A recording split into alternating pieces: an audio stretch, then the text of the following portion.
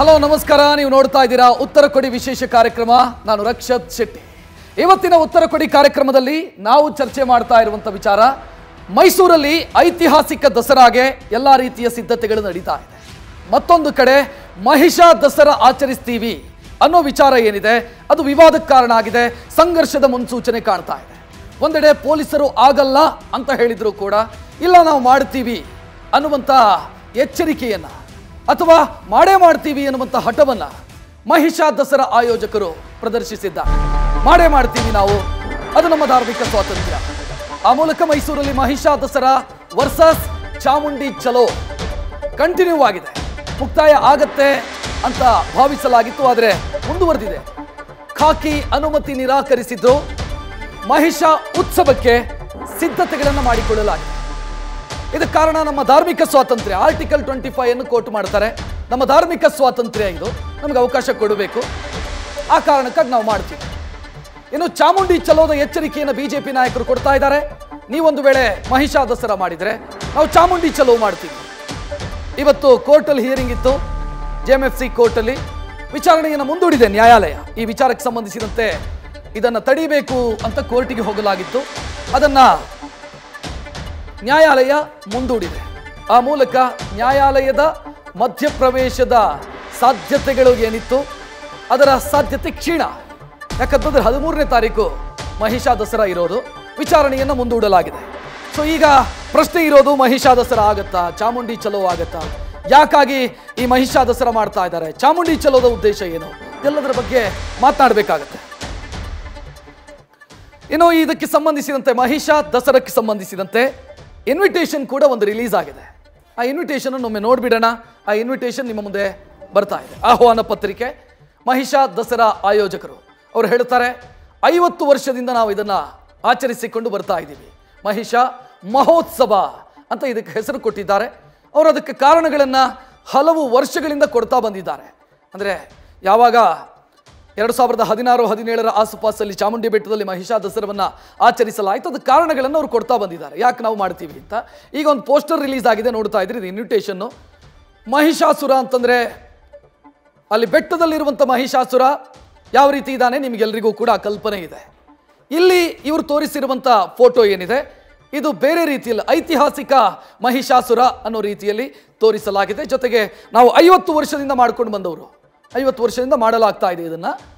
ಈ ವರ್ಷನೂ ಮಾಡ್ತೀವಿ ಅನ್ನುವಂಥ ಸೂಚನೆ ಅಥವಾ ಆ ಹೇಳಿಕೆಯನ್ನ ಆಯೋಜಕರು ಕೊಟ್ಟಿದ್ದಾರೆ. ಇನ್ನು ಈ ವಿಚಾರಕ್ಕೆ ಸಂಬಂಧಿಸಿದಂತೆ ನಮಗೆ ಆಯೋಜಕರು ಮಾತನಾಡಿದ್ದನ್ನು ಕೂಡ ನಿಮ್ಮ ಮುಂದೆ ಇಡ್ತಾ ಇದ್ದೀವಿ. ಪ್ರಮುಖವಾಗಿ ವಿಚಾರವಾದಿ ಭಗವಾನ್ ಅವರು ಮಾತನಾಡಿದ್ದಾರೆ. ನೋಡೋಣ. ಈಗಾಗಲೇ ಪದೇ ಪದೇ ಹೇಳಿದ್ದೀವಿ. ನಮ್ಮ ಹಬ್ಬವನ್ನು ನಾವು ಮಾಡ್ತಾ ಇದ್ದೀವಿ. ನಾವು ಯಾರ ವಿರುದ್ಧನೂ ಅಲ್ಲ. ಹೀಗಿರುವಾಗ ನೀವು ಯಾಕೆ ಅನಾವಶ್ಯಕವಾಗಿ ಖ್ಯಾತೆ ತೆಗಿತಾ ಇದ್ದೀರಿ? ನಿಮ್ಮ ಹಬ್ಬದ ವಿಷಯವಾಗಿ ನಾವು ಏನು ಮಾತಾಡಿಲ್ಲ. ನೀವು ನೀವು ಮಾಡ್ಕೊಳ್ಳಿ. ನಾವು ನಾವು ಮಾಡ್ಕೊಳ್ಳಿ. ಇಷ್ಟು ಸಹನೆ ನಿಮಗಿಲ್ಲ ಅಂದರೆ ಏನು ಏನು ಅರ್ಥ ಮಾಡ್ಕೊಳ್ಬೇಕು? ನೀವೇ ತೀರ್ಮಾನ ಮಾಡಿ. ಇದು ಭಗವಾನ್ ಅವರು ಮಾತನಾಡ್ತಾ ಇರೋದು. ನೆಕ್ಸ್ಟ್ ಇದನ್ನು ವಿರೋಧ ಮಾಡ್ತಾ ಇರೋದು B J P B J ಪಿಯಿಂದ Pratap Simha ಅವರು ಮಾತನಾಡಿದ್ದಾರೆ. ಪ್ರತಾಪ್ ಸಿಂಹ ಏನು ಮಾತನಾಡಿದರು? ನೋಡೋಣ. ನಮ್ಮ ತಾಯಿಯನ್ನ, ದೇವಿಯನ್ನ ದೆವ್ವ ಮಾಡುವಂತ, ದೆವ್ವವನ್ನ ದೇವ್ರ, ದೇವರು ಮಾಡುವಂತಹ ಒಂದು ಪ್ರಯತ್ನವನ್ನು ನಾಲ್ಕು ಜನ ಮಾಡಿ ಮಾಡ ಪ್ರಾರಂಭ ಮಾಡಿದ್ರು. ಸಿದ್ದರಾಮಯ್ಯನವರು ಆ ಕಾಲದಲ್ಲಿ ಮುಖ್ಯಮಂತ್ರಿ ಇದ್ರು. ಅದಾದ ನಂತರ ಯಡಿಯೂರಪ್ಪ ಸಾಹೇಬರು ಎರಡು ಸಾವಿರದ ಹತ್ತೊಂಬತ್ತರಲ್ಲಿ ಮುಖ್ಯಮಂತ್ರಿ ಆದ ನಂತರ ಈ ಅನಾಚಾರ ಒಂದು ನಾಲ್ಕು ವರ್ಷಗಳಿಂದ ಏನು ನಡ್ಕೊಂಡು ಬರ್ತಾ ಇತ್ತು ಅದನ್ನು ನಾವು ಮಟ್ಟ ಹಾಕಿದ್ವು. ಈಗ ಮತ್ತೆ ಅವರು ಮಹಿಷಾ ದಸರಾ ಮಾಡ್ತೀವಿ, ಐವತ್ತು ವರ್ಷದಿಂದ ಮಾಡ್ತಿದ್ದೀವಿ ಈ ಥರ ಬರೀ ಸುಳ್ಳುಗಳು ಹೇಳಿಕೊಂಡು ನಮ್ಮ ನಂಬಿಕೆಯನ್ನು ಹೊಡೆಯುವಂತಹ, ತಾಯಿಗೆ ಅಪಚಾರ ಮಾಡುವಂತಹ ಕೆಲಸಕ್ಕೆ ಕೈ ಹಾಕಿದ್ದಾರೆ. ಹದಿಮೂರನೇ ತಾರೀಕು ಬೆಳಗ್ಗೆ ಎಂಟು ಗಂಟೆಗೆ ತಾವರೆಕಟ್ಟೆಯಿಂದ ನಮ್ಮ ಜಾಥಾ ಪ್ರಾರಂಭ ಆಗುತ್ತೆ. ಬೆಟ್ಟಕ್ಕೆ ಹೋಗೋಣ. ನಾವು ಇಡೀ ದಿನ ಆ ಮಹಿಷಾ ದಸರಾ ಏನು ಮಾಡಬೇಕು ಅಂತ ಅಂದ್ಕೊಂಡಿದ್ದಾರೆ. ಆ ಮನುಷ್ಯನ ಸ್ಟ್ಯಾಚ್ಯೂದ ಹತ್ರನೇ ಕೂತ್ಕೊಳ್ಳೋಣ. ಕೂತ್ಕೊಂಡು ಇದನ್ನ ಈ ಸರಿ ತಡಿಬೇಕು. ಈ ಸರಿ ಈ ಮಹಿಷಾ ದಸರಾ ಅನ್ನೋ ಅನಾಚಾರಕ್ಕೆ ಅಂತಿಮವಾದಂಥ ತೆರೆಯನ್ನು ಎಳಿಬೇಕು. ಯಾಕೆಂತಂದರೆ ಇದು ನಾನೇನು ಸಿದ್ದರಾಮಯ್ಯ ಸಾಹೇಬ್ರ ಬಗ್ಗೆ ಬ್ಲೇಮ್ ಮಾಡಕ್ ಹೋಗಲ್ಲ. ಆದರೆ ಅವರು ಮುಖ್ಯಮಂತ್ರಿ ಆದಾಗಲೇ ಪ್ರಾರಂಭವಾಗಿದ್ದು ಅವ್ರು ಮತ್ತೆ ಮುಖ್ಯಮಂತ್ರಿ ಆದ ಕೂಡಲೇ ಮತ್ತೆ ಅನಾಚಾರ ತಲೆ ಎತ್ತುತ್ತಾ ಇದೆ. ನಾನು ಅವರನ್ನು ಕೂಡ ಕೇಳ್ಕೊಳ್ತೀನಿ. ಸರ್, ಇದಕ್ಕೆ ಅವಕಾಶವನ್ನು ಮಾಡಿಕೊಡ್ಬೇಡಿ. ನಿಮ್ಮ ಡಿಸ್ಟಿಕ್ ಅಡ್ಮಿನಿಸ್ಟ್ರೇಷನ್ಗೂ ಕೂಡ ಸ್ಪಷ್ಟವಾದ ನಿರ್ದೇಶನವನ್ನು ಕೊಡಬೇಕು ಅಂತ ನಾನು ಇದರ ಹೊರತಾಗಿ ಏನಾದರೂ ಅನಾಚಾರ ಮಾಡಲಿಕ್ಕೆ ಪ್ರಯತ್ನವನ್ನು ಮಾಡಿದರೆ ನಾನು ನೇರವಾಗಿ ನಾವೆಲ್ಲರೂ ಕೂಡ ನಮ್ಮೆಲ್ಲ ಎಲ್ಲ ಮೈಸೂರಿನ ನಾಗರಿಕ ಬಂಧುಗಳಿದ್ದಾರೆ, ನಮ್ಮೆಲ್ಲ ಕಾರ್ಪೊರೇಟರ್ಸ್ ಇದ್ದಾರೆ, ನಮ್ಮ ಎಂ ಎಲ್ ಎ ಅವರಿದ್ದಾರೆ ನಾವೆಲ್ಲ ಸಂಘರ್ಷಕ್ಕೂ ರೆಡಿ ಆಗಿದ್ದೀವಿ ಅಲ್ಲಿಗೆ ಸಂಘರ್ಷವನ್ನು ನೋಡ್ತಾ ಇದ್ದೀರಿ. ಒಂದು ವರ್ಗ ಇದನ್ನು ಆಚಾರ, ನಮ್ಮ ಆಚರಣೆ. ನಮ್ಮ ಆಚರಣೆ ನಮ್ಮದು ನಿಮ್ಮದು ನಿಮ್ಮ ಆಚರಣೆ ಅಂತ ಹೇಳ್ತಾ ಇದ್ರೆ ಇಲ್ಲ ರೀ, ಅದು ಆಚರಣೆಯಲ್ಲ ಅನಾಚಾರ ಅಂತ ಬಿ ಜೆ ಪಿ ಹೇಳ್ತಿದೆ. ಈ ಮಧ್ಯೆ ಪೊಲೀಸರಿಗೆ ಅನುಮತಿ ಕೋರಲಾಗಿತ್ತು, ಅವಕಾಶ ಕೊಡಿ ಅಂತ. ಬಟ್ ಪೊಲೀಸರು ಅದನ್ನು ತಿರಸ್ಕರಿಸಿದ್ದಾರೆ. ಮೈಸೂರಿನ ಪೊಲೀಸ್ ಕಮಿಷನರ್ ರಮೇಶ್ ಭಾನೋತ್ ಮಾತನಾಡಿದ್ದಾರೆ ಇದಕ್ಕೆ ಸಂಬಂಧಿಸಿ. ನೋಡೋಣ. ಜಾತ ಮಾಡ್ಕೊಂಡು ಹೋಗಿ ಚಾಮುಂಡಿ ಬೆಟ್ಟ ಮೇಲೆ ಮಹಿಷಾಸುರ ವಿಗ್ರಹ ಏನಿದೆ ಅದು ಪುಷ್ಪಾರ್ಚನೆ ಮಾಡಿ, ಮತ್ತೆ ವಾಪಸ್ ಇಲ್ಲಿ ಬಂದು ಮ, ಪುರಭವನಕ್ಕೆ ಬಂದು ಪುರಭವನದಲ್ಲಿ ಕಾರ್ಯಕ್ರಮ ಮಾಡಬೇಕು ಅಂತ ಅದಕ್ಕೆ ಪರ್ಮಿಷನ್ಗೋಸ್ಕರ ಒಂದು ರಿಕ್ವೆಸ್ಟ್ ಲೆಟರ್ ಕೊಟ್ಟಿದ್ದಾರೆ. ಅದಾದ ಮೇಲೆ ಅದು ನಮಗೆ ಪರ್ಮಿಷನ್ ಕೊಟ್ಟಿದ್ದಾರೆ. ಅದಾದ ನಂತರ ಬಿ ಜೆ ಪಿ ಪಾರ್ಟಿಯಿಂದ ಮೊನ್ನೆ ಅದಕ್ಕೆ ಅಗೇನಿಸ್ಟ್ ಆಗಿ ನಾವು ಹಂಗೆ ಮಾಡಿದರೆ ನಾವು ಒಂದು ಐದು ಸಾವಿರ ಜನನು ಕರ್ಕೊಂಡು ಚಾಮುಂಡಿ ಬೆಟ್ಟ ಮೇಲೆ ನಾವು ಚಲೋ ಚಾಮುಂಡಿ ಬೆಟ್ಟ ಅಂತ ಹೇಳ್ಬಿಟ್ಟು ಐದು ಸಾವಿರ ಕರ್ಕೊಂಡೋಗಿ ಮಾಡ್ತೀವಿ ಅಂತ ಬಿ ಜೆ ಪಿ ಪಾರ್ಟಿಯಿಂದ ಮಾನ್ಯ ಶಾಸಕರು ಅವರು ಬಂದು ಕೊಟ್ಟಿದ್ದಾರೆ. ಆ, ಕೊಟ್ಟ ಮೇಲೆ ಆ್ಯಂಡ್ ಹಿಂದೆ ಹಿನ್ನೆಲೆ ತಮಗೆ ಗೊತ್ತು, ಒಂದು ಕಳೆದ ಕಳೆದ ಒಂದು, ಒಂದೂವರೆ ತಿಂಗಳಿಂದ ಸೋಷಿಯಲ್ ಮೀಡಿಯಾನಲ್ಲಿ ಬೇರೆ ಬೇರೆಯವರು ಬೇರೆ ಬೇರೆ ರೀತಿಯಲ್ಲಿ ಮಾತಾಡೋದು ಇನ್ಸ್ಟಿಗೇಟ್ ಮಾಡೋದಾಗಲಿ, ಬೇರೆ ರೀತಿಯಲ್ಲೆಲ್ಲ ಸೋಷಿಯಲ್ ಮೀಡಿಯಾ ಪೋಸ್ಟಿಂಗ್ಸ್ ಆಗಿದ್ದಾವೆ. ಈ ಹಿನ್ನೆಲೆಯಲ್ಲಿ ನಾವು ಇವತ್ತು ಮೀಟಿಂಗ್ ಮಾಡಿ ಒಂದು ನಿರ್ಧಾರಣ ತಗೊಂಡಿದ್ದೀವಿ. ನಾವು ಎರಡು ರಿಪ್ರೆಸೆಂಟೇಷನ್ ಏನಿದೆ, ಎರಡೂ ಗ್ರೂಪ್ ಅವ್ರಿಗೂ ನಾವು, ವರ್ಗದವರಿಗೆ ನಾವು ಪರ್ಮಿಷನ್ ಕೊಡಲ್ಲ ಅಂತ ಹೇಳ್ಬಿಟ್ಟು ಅವರಿಗೆ ನಾವು ಹಿಂಬರ ಕೊಟ್ಟಿದ್ದೀವಿ. ಸೊ ಈಗ ಮುಂದಿನ ದಿನಗಳಲ್ಲಿ ನಾವು ಯಾವ ರೀತಿಯಲ್ಲಿ ಅದು ಇನ್ ಕೇಸ್ ಬಂದರೆ ಏನು ಮಾಡಬೇಕಂತ ನಾವು ಒಂದು ಡಿಸಿಷನ್ ತಗೊಂಡು ತಗ್ ಅಲ್ಲಿಗೆ ಪರ್ಮಿಷನ್ ಕೊಡಲ್ಲ ಅಂತ ಪೊಲೀಸರು ಸ್ಪಷ್ಟಪಡಿಸಿದರೆ ನಂತರ ಮತ್ತೆ ಪ್ರತಿಕ್ರಿಯೆ ಮಹಿಷಾ ದಸರಾ ಆಯೋಜಕರಿಂದ ಬಂತು. ಮಾಡೇ ಮಾಡ್ತೀವಿ, ಮಾಡಲೇಬೇಕು ಬಿಕಾಸ್ ಇದು ನಮ್ಮ ಧಾರ್ಮಿಕ ಸ್ವಾತಂತ್ರ್ಯ. ನಾನು ಆಗಲೇ ಹೇಳಿದೆ ಆರ್ಟಿಕಲ್ ಟ್ವೆಂಟಿ ಫೈವ್ ಅದನ್ನು ಕೋಟ್ ಮಾಡಲಾಗ್ತಾ ಇದೆ, ನಮ್ಮ ಧಾರ್ಮಿಕ ಸ್ವಾತಂತ್ರ್ಯ ಅದು. ಅವಕಾಶ ಕೊಡಬೇಕಾಗಿರೋದು ಸರ್ಕಾರದ ಕರ್ತವ್ಯ ಅನ್ನೋದು. ನೆಕ್ಸ್ಟ್ ನಾವು ಡಿಸ್ಕಷನ್ ಸ್ಟಾರ್ಟ್ ಮಾಡೋಣ. ಯಾವತ್ತಿನಂತೆ ನಮ್ಮ ಡಿಬೇಟ್ನಲ್ಲಿ ಒಂದಿಷ್ಟು ಪ್ರಶ್ನೆಗಳ ಆಧಾರದ ಮೇಲೆ ನಾವು ಚರ್ಚೆಯನ್ನು ಮುನ್ನಡೆಸ್ಕೊಂಡು ಹೋಗ್ತೀವಿ. ಮೊದಲ ಪ್ರಶ್ನೆ ಇಲ್ಲಿ ರೈಸ್ ಆಗೋದು, ಮಹಿಷಾ ದಸರಾದ ಮೂಲಕ ಏನನ್ನ ಸಾಧಿಸೋದಕ್ಕೆ ಹೊರಟಿದ್ದಾರೆ? ಮಹಿಷಾ ದಸರಾದ ಆಯೋಜಕರು, ಅವರನ್ನೇ ಈ ಪ್ರಶ್ನೆಯನ್ನು ಕೇಳಬೇಕಾಗತ್ತೆ. ಯಾಕೆ? ಏನು ಇಂಟೆನ್ಷನ್ ಮಾತನಾಡೋಣ. ನೆಕ್ಸ್ಟ್ ಇನ್ನೊಂದು ಪ್ರಶ್ನೆ, ಇದು ಬಿ ಜೆ ಪಿಯರು ಇದನ್ನ ರೈಸ್ ಮಾಡ್ತಾ ಇದ್ದಾರೆ.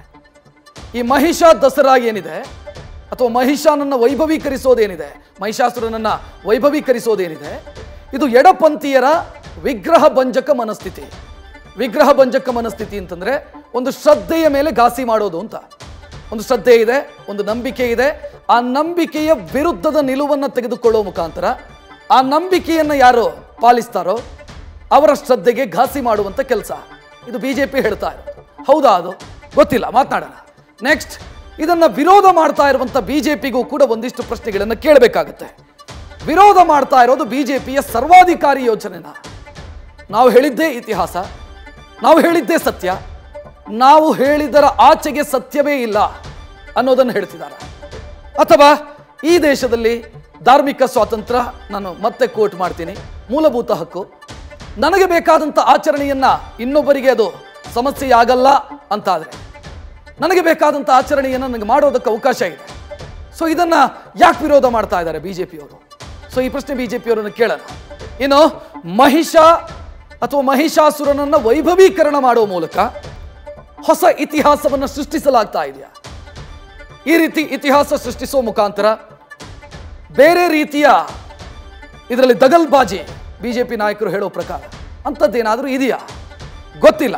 ಮಾತಾಡೋಣ, ನಮ್ಮ ಜೊತೆಗೆ ಅತಿಥಿಗಳು ಜಾಯ್ನ್ ಆಗಿದ್ದಾರೆ.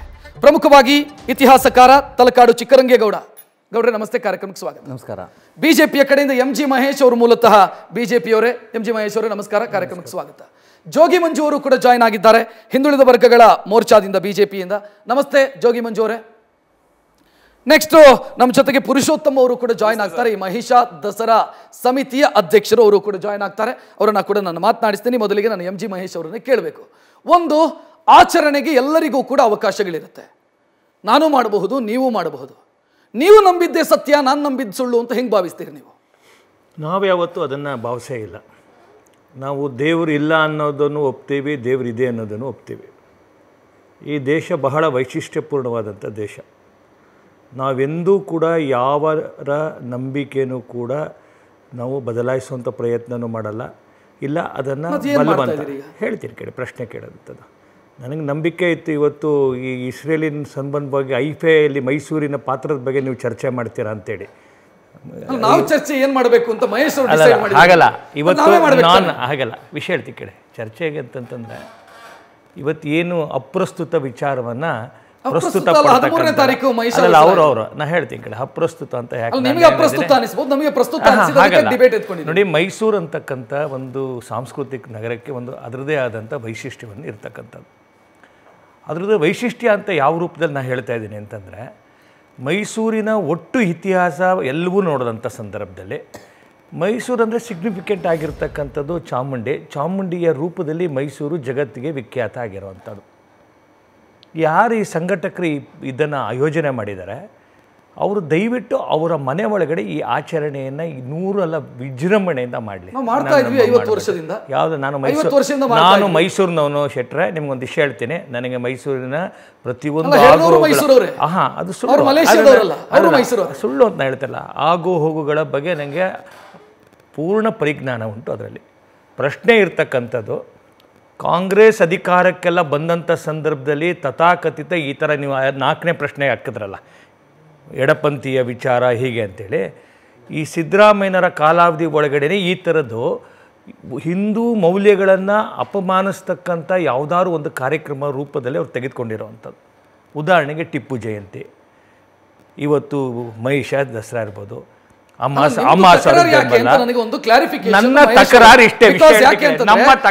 ಭಗವಾನ್ ಅವರು ಹೇಳ್ತಾರೆ ನಿಮ್ಮ ಆಚರಣೆ ನಿಮ್ಮದು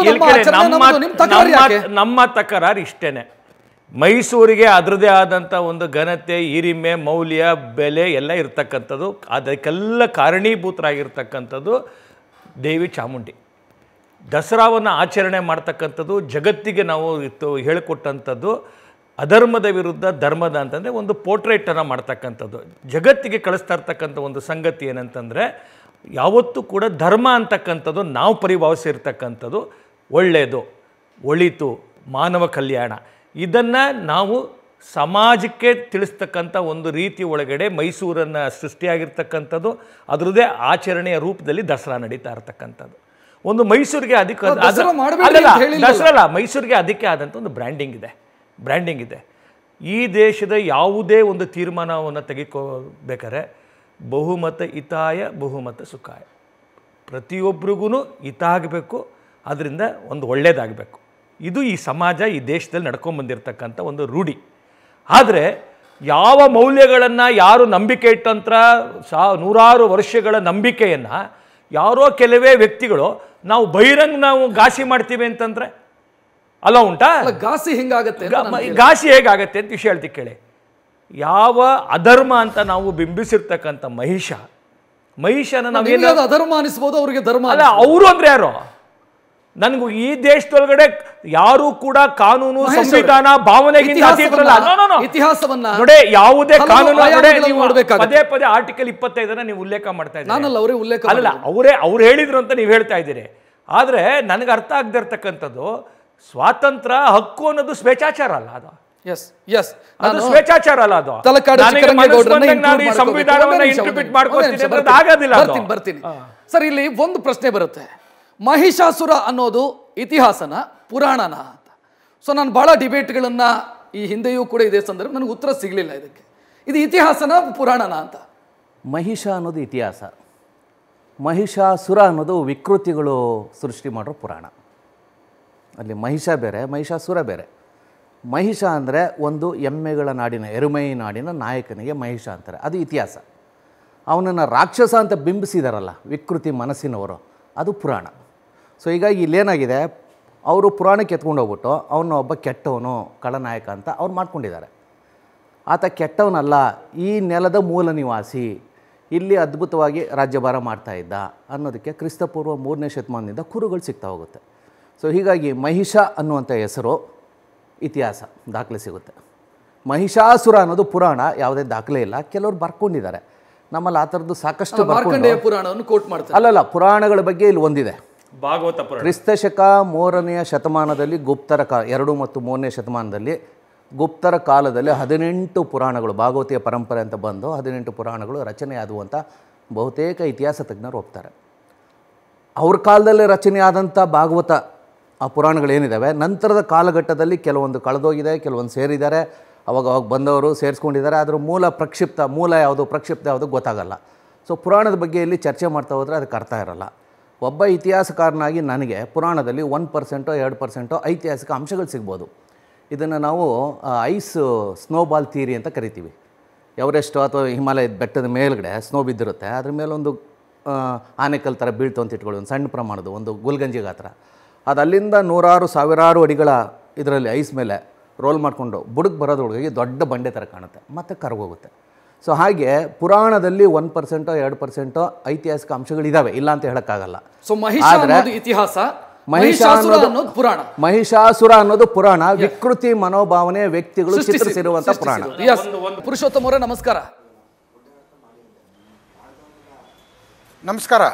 ಈಗ ನೀವು ಮಹಿಷ ದಸರನ್ನೇನೋ ಮಾಡೋದಕ್ಕೆ ಹೊರಟಿದ್ದೀರಿ ಅಥವಾ ಮಹಿಷ ಮಹೋತ್ಸವವನ್ನೇನು ಮಾಡೋದಕ್ಕೆ ಹೊರಟಿದ್ದೀರಿ ಇದು ಪುರಾಣದ ಮಹಿಷಾಸುರನ ಅಥವಾ ಇತಿಹಾಸದ ಮಹಿಷಾಸುರನ? ಇತಿಹಾಸದ ಮಹಿಷಾಸುರ. ಇತಿಹಾಸದ ಮಹಿಷಾಸುರ ಮಹಿಷಾಸುರ. ಎಸ್ ಸರ್ ಇತಿಹಾಸದ ಮಹಿಷಾಸುರನಿಗೂ ಚಾಮುಂಡಿ ಬೆಟ್ಟದಲ್ಲಿರುವಂಥ ಮಹಿಷಾಸುರನ ಪ್ರತಿಮೆಗೂ ಏನು ಸಂಬಂಧ?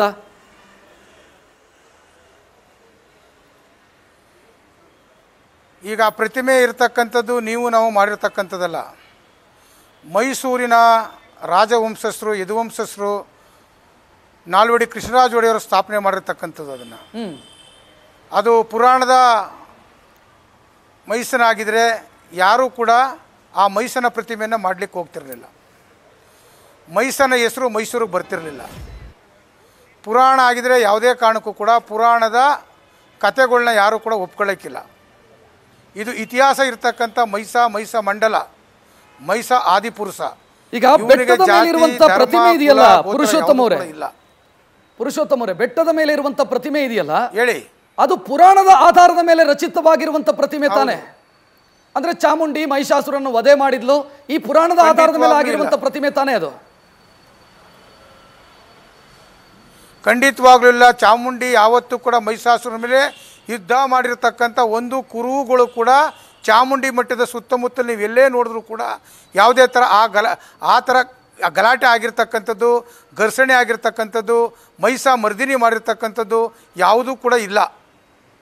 ಮತ್ತು ಸೌಹಾರ್ದತೆಯ ಪ್ರತೀಕವಾಗಿ ಮಹಿಷಾಸುರನ ಪ್ರತಿಮೆ ಇದೆಯಾ ಅಲ್ಲಿ? ಖಂಡಿತವಾಗಲೂ ಕೂಡ. ಅಂದರೆ ಮಹಿಷಾಸುರ ಸೌಹಾರ್ದತೆಯ ಪ್ರತೀಕ ಅಂತನ? ಬೆಟ್ಟದಲ್ಲಿರುವಂಥ ಮಹಿಷಾಸುರನ ಪ್ರತಿಮೆ ಸೌಹಾರ್ದತೆಯ ಕಾರಣಕ್ಕಾಗಿ ಸೌಹಾರ್ದತೆಯ ಸೌಹಾರ್ದ ಮತ್ತು ಸಾಮಾಜಿಕ ಸಮಾನತೆ ಯಾವತ್ತೂ ಕೂಡ ಅವನ ಆಡಳಿತದಲ್ಲಿ ಪ್ರತಿಯೊಬ್ಬರನ್ನು ಕೂಡ ರಕ್ಷಣೆ ಮಾಡಿದ್ದೇನೆ. ಆತ ಒಬ್ಬ ರಕ್ಷಕ ಅಂತಕ್ಕಂಥದ್ದು ನಮಗೆ ಇತಿಹಾಸದಲ್ಲಿ ಸಿಕ್ಕಿರ್ತಕ್ಕಂಥದ್ದು. ಮತ್ತು ಮೈಸೂರಿಗೆ ಹೆಸರು ಬಂದಿರತಕ್ಕಂಥದ್ದು ಇವತ್ತು ಕೂಡ ನಿಮ್ಮ ಚಿಕ್ಕ ಗಡಿಯಾರದಲ್ಲಿ ಅವ್ರ ಹೆಸರನ್ನು ಸಾ ಹೆಸರಿರ್ತಕ್ಕಂಥದ್ದು ನೋಡಿದ್ರೆ ನಮಗೆ ಭಾಳ ಖುಷಿ ಆಗ್ತದೆ. ಈಗ ಪುರುಷೋತ್ತಮರೇ ನೀವು ಹೇಳ್ತಾ ಇರುವಂಥ ಮಹಿಷಾಸುರ ಅಥವಾ ಮಹಿಷ ಯಾವ ಕಾಲಕ್ಕೆ ಸೇರಿದವನು? ಈ ಬಗ್ಗೆ ಏನಾದರೂ ಸ್ಪಷ್ಟತೆ ಇದೆಯಾ? ಯಾವ ಕಾಲಕ್ಕೆ ಸೇರಿದವನು? ಸರ್ ಸ್ಪಷ್ಟತೆ ನಾವು ಇಂಥ ಇಸ್ಬಿ ಇಂಥ ಡೇಟು ಅಂತ ಹೇಳಲಿಕ್ಕೆ ಆಗೋದಿಲ್ಲ ಅದು ಎರಡು ಸಾವಿರ ಇತಿಹಾಸ ಅಂದ ನಂತರ ನಾವು ಒಂದು ಅಂದಾಜು ಅಂದಾಜಾದ್ರೂ ಹೇಳಬೇಕಾಗುತ್ತೆ ಹೇಳಬೇಕಾಗತ್ತಲ್ವ ಅಥವಾ ಪುರುಷೋತ್ತಮ ಅವರೇ ಈಗ ಇತಿಹಾಸ ಅಂತ ಹೇಳಿದಾಗ ಒಂದು ಅಂದಾಜು ಹೇಳಬೇಕಾಗ ಈ ಕಾಲ ಇವರ ಸಮಕಾಲೀನ ಅಂತಾದ್ರೂ ಹೇಳಬಹುದು ಹೇಳಬೇಕಾಗ ಹೌದು. ಇರಲಿ ಸರ್ ಒಂದು ಒಂದು ಸಾವಿರದ ಎಂಟುನೂರು ವರ್ಷ ಇಟ್ಕೊಳ್ಳಿ ಸರ್ ಸಾವಿರದ ಏಳ್ನೂರು ವರ್ಷ ಇಟ್ಕೊಳ್ಳಿ ಸರ್ ಯಾಕೆಂದರೆ ನಮಗೆ ಕ್ರಿಸ್ತ ಪೂರ್ವ, ಕ್ರಿಸ್ತ ಸಕ. ನಮಗೆ ಗೊತ್ತಿರ್ತಕ್ಕಂಥ ಒಂದು ಐದು ಸಾವಿರದ ಇತಿಹಾಸ ನಾವು ಹೇಳ್ಬೋದು ಅಷ್ಟೇ ಕ್ರಿಸ್ತ ಪೂರ್ವ ಐದು ಸಾವಿರ ಅಂತ ಹೇಳಿದ್ರೆ ಒಂದಷ್ಟು ಅಷ್ಟು ಹೇಳ್ಬೋದು. ನಮಗೆ ಒಂದು ಚಾರ, ಚಾರ್ವಕನ ಕಾಲ, ಬುದ್ಧನ ಕಾಲ, ಜೈನರ ಕಾಲನ ನಾವು ಇಲ್ಲಿ ಪ್ರಸ್ತಾವನೆ ಇಡ್ಬೋದು ಸರ್ ನಮಗೆ. ಅಂದರೆ ನಾನು ನಿಮ್ಮ ಜೊತೆಗೆ ನಿಮ್ಮ ಸಮಿತಿಯಲ್ಲಿರೋರು ಹೇಳಿದ್ದನ್ನು ಕೇಳಿದ್ದೀನಿ ಅಶೋಕನ ಸಮಕಾಲೀನ ಈ ಮಹಿಷಾಸುರ ಅಥವಾ ಮಹಿಷ ಅಂತ ಹೇಳ್ತಾರೆ. ಹೌದಾ ಅದು? ನಿಮ್ಮ ಭಾವನೆನೂ ಅದೇನಾ? ಇರಬಹುದಾ ಖಂಡಿತವಾಗಿ ಅಥವಾ. ಹೌದು ಅಂತ ಮೈಸಾ ಮೈಸ ಅಂತಕ್ಕಂಥದ್ದು ಹೆಸರು. ಸರ್ ಹೌದು. ಯಾಕೆಂದ್ರೆ ಮೈಸಾ ಅಂತಕ್ಕಂಥದ್ದು ಬುದ್ಧನ ಕಾಲಘಟ್ಟದಲ್ಲೂ ಕೂಡ ಆ ನಾಮಾಂಕಿತ ಇತ್ತು ಅಂತಕ್ಕಂಥದ್ದು. ಅದು ಎರಡು ಮಾತು ಇಲ್ಲವೇ ಇಲ್ಲ. ನಾವು ತ್ರಿಪಿಕಟ ತ್ರಿಪಿಟಕವನ್ನು ನೋಡಿದಂಥ ಸಂದರ್ಭದಲ್ಲಿ ಇವತ್ತು ಅದು ಬುದ್ಧ ಶಾಸನವನ್ನು ನೋಡಿದಂಥ ಸಂದರ್ಭದಲ್ಲಿ ಅಲ್ಲಿ ಮೈಸಾ ಅಂತಕ್ಕಂಥ ಪದಗಳು ತುಂಬ ಬಳಕೆ ಆಗಿದೆ. ಪುರಾಣದ ಮೈಸಾ ಬಳಕೆ ಆಗಿಲ್ಲ ಅಲ್ಲಿ. ಇತಿಹಾಸದ ಮೈಸ ತುಂಬ ಬಳಕೆ ಆಗಿದೆ ಬುದ್ಧನ ಕಾಲದಿಂದಲೂ ಕೂಡ. ಸೊ ನೀವು ಹೇಳ್ತಾ ಇರೋದು ಅಲ್ಲಿರುವಂಥ ಪ್ರತಿಮೆಗೂ ಚಾಮ್ ಆರಾಧನೆ ಪಡಿತಾ ಇರುವಂಥ ಚಾಮುಂಡಿಗೂ ಯಾವುದೇ ರೀತಿಯ ಸಂಬಂಧ ಇಲ್ಲ. ಅದೇ ಬೇರೆ ಇದೇ ಬೇರೆ. ಈತ ಇತಿಹಾಸ ಪುರುಷ ಆಕೆ ಪುರಾಣದ ಧಾರ್ಮಿಕ ಧಾರ್ಮಿಕ ದೇವಿ ಅಂತ ಹೇಳುತ್ತಾವೆ ಖಂಡಿತವಾಗ್ಲು ಖಂಡಿತ. ಅದರಲ್ಲಿ ಎರಡು ಮಾತು ಇಲ್ಲವೇ ಇಲ್ಲ. ಆದರೂ ಕೂಡ ಅದನ್ನು ಗೌರವ ಕೊಟ್ಟಿದ್ದೀವಿ. ಅದಕ್ಕೆ ಇಲ್ಲಿ ತನಕನೂ ಕೂಡ ಗೌರವಿಸ್ಕೊಂಡು ಪೂಜಿಸ್ಕೊಂಡು ಆರಾಧಿಸ್ಕೊಂಡು ಬಂದಿದ್ದೀವಿ. ನಾವು ಪುರುಷೋತ್ತಮ ಅವರೇ ನನಗೆ ನೆನಪಿದೆ. ಈ ಹಿಂದೆ ನಿಮ್ಮ ಜೊತೆಗೆ ಗುರುತಿಸಿಕೊಂಡವರು ಆಕೆ ಆಸ್ಥಾನ ಕಲಾವಿದೆ ಚಾಮುಂಡಿ ವೇಶ್ಯೆ ಅಂತೆಲ್ಲ ಮಾತನಾಡಿದ್ದನ್ನು ನಾನು ಕೇಳಿದ್ದೀನಿ. ಭಗವಾನ್ ಅವರು ಮಾತನಾಡಿದ ನೀವು ಗೌರವ ಕೊಡ್ತೀರಿ ಅಂತ ಹೇಳ್ತೀರಿ. ಈ ಪದ ಯಾತಿಕ್ ಯಾಕೆ ಕೊಡಿ ಹೇಳ್ತೀನಿ ಕೇಳಿ.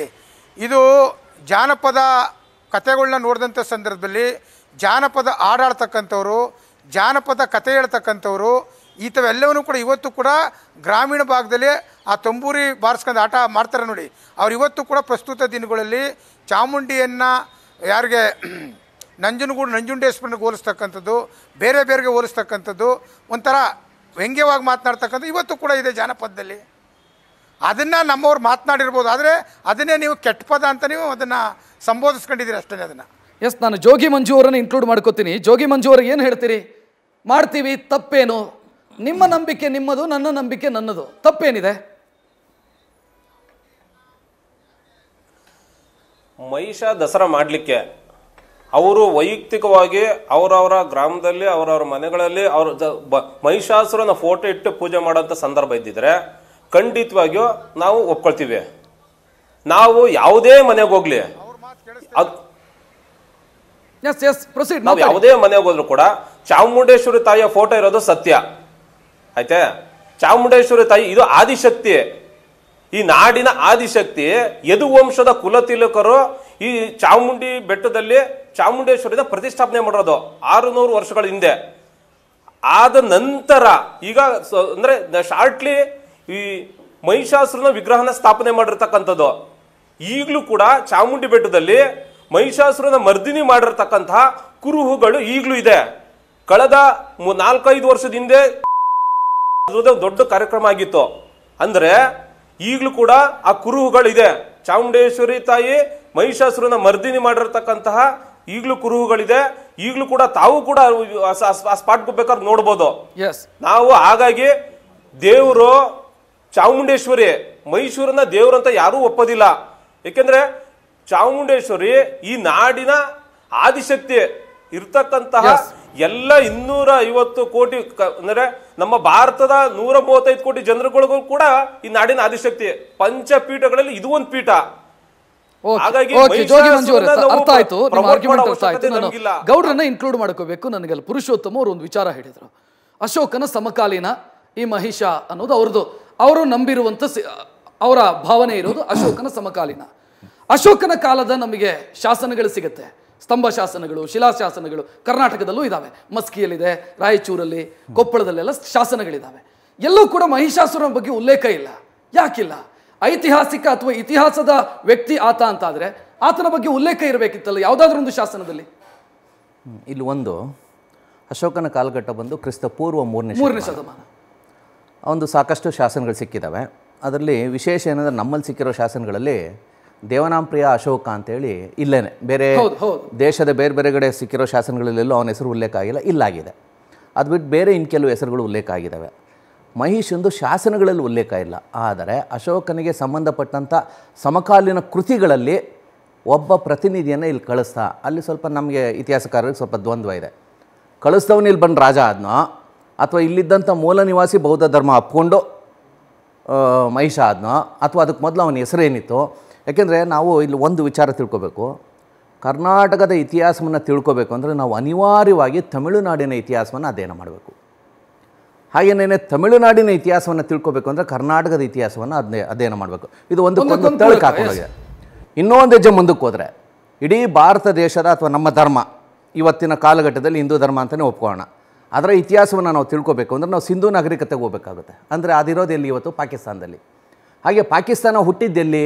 ಡೆಲ್ಲಿನಲ್ಲಿ ಕೂತ್ಕೊಂಡು ಬ್ರಿಟಿಷರು ಮತ್ತು ನಮ್ಮ ಭಾರತೀಯ ನಾಯಕರುಗಳೆಲ್ಲ ಸೇರಿಕೊಂಡು ಅದರ ಹುಟ್ಟಿಗೆ ಕಾರಣಕರ್ತರಾದರು ಅಂತ. ಅಂದರೆ ಪಾಕಿಸ್ತಾನದ ಇತಿಹಾಸ ಭಾರತದಲ್ಲಿದೆ. ಭಾರತದ ಇತಿಹಾಸ ಪಾಕಿಸ್ತಾನದಲ್ಲಿದೆ.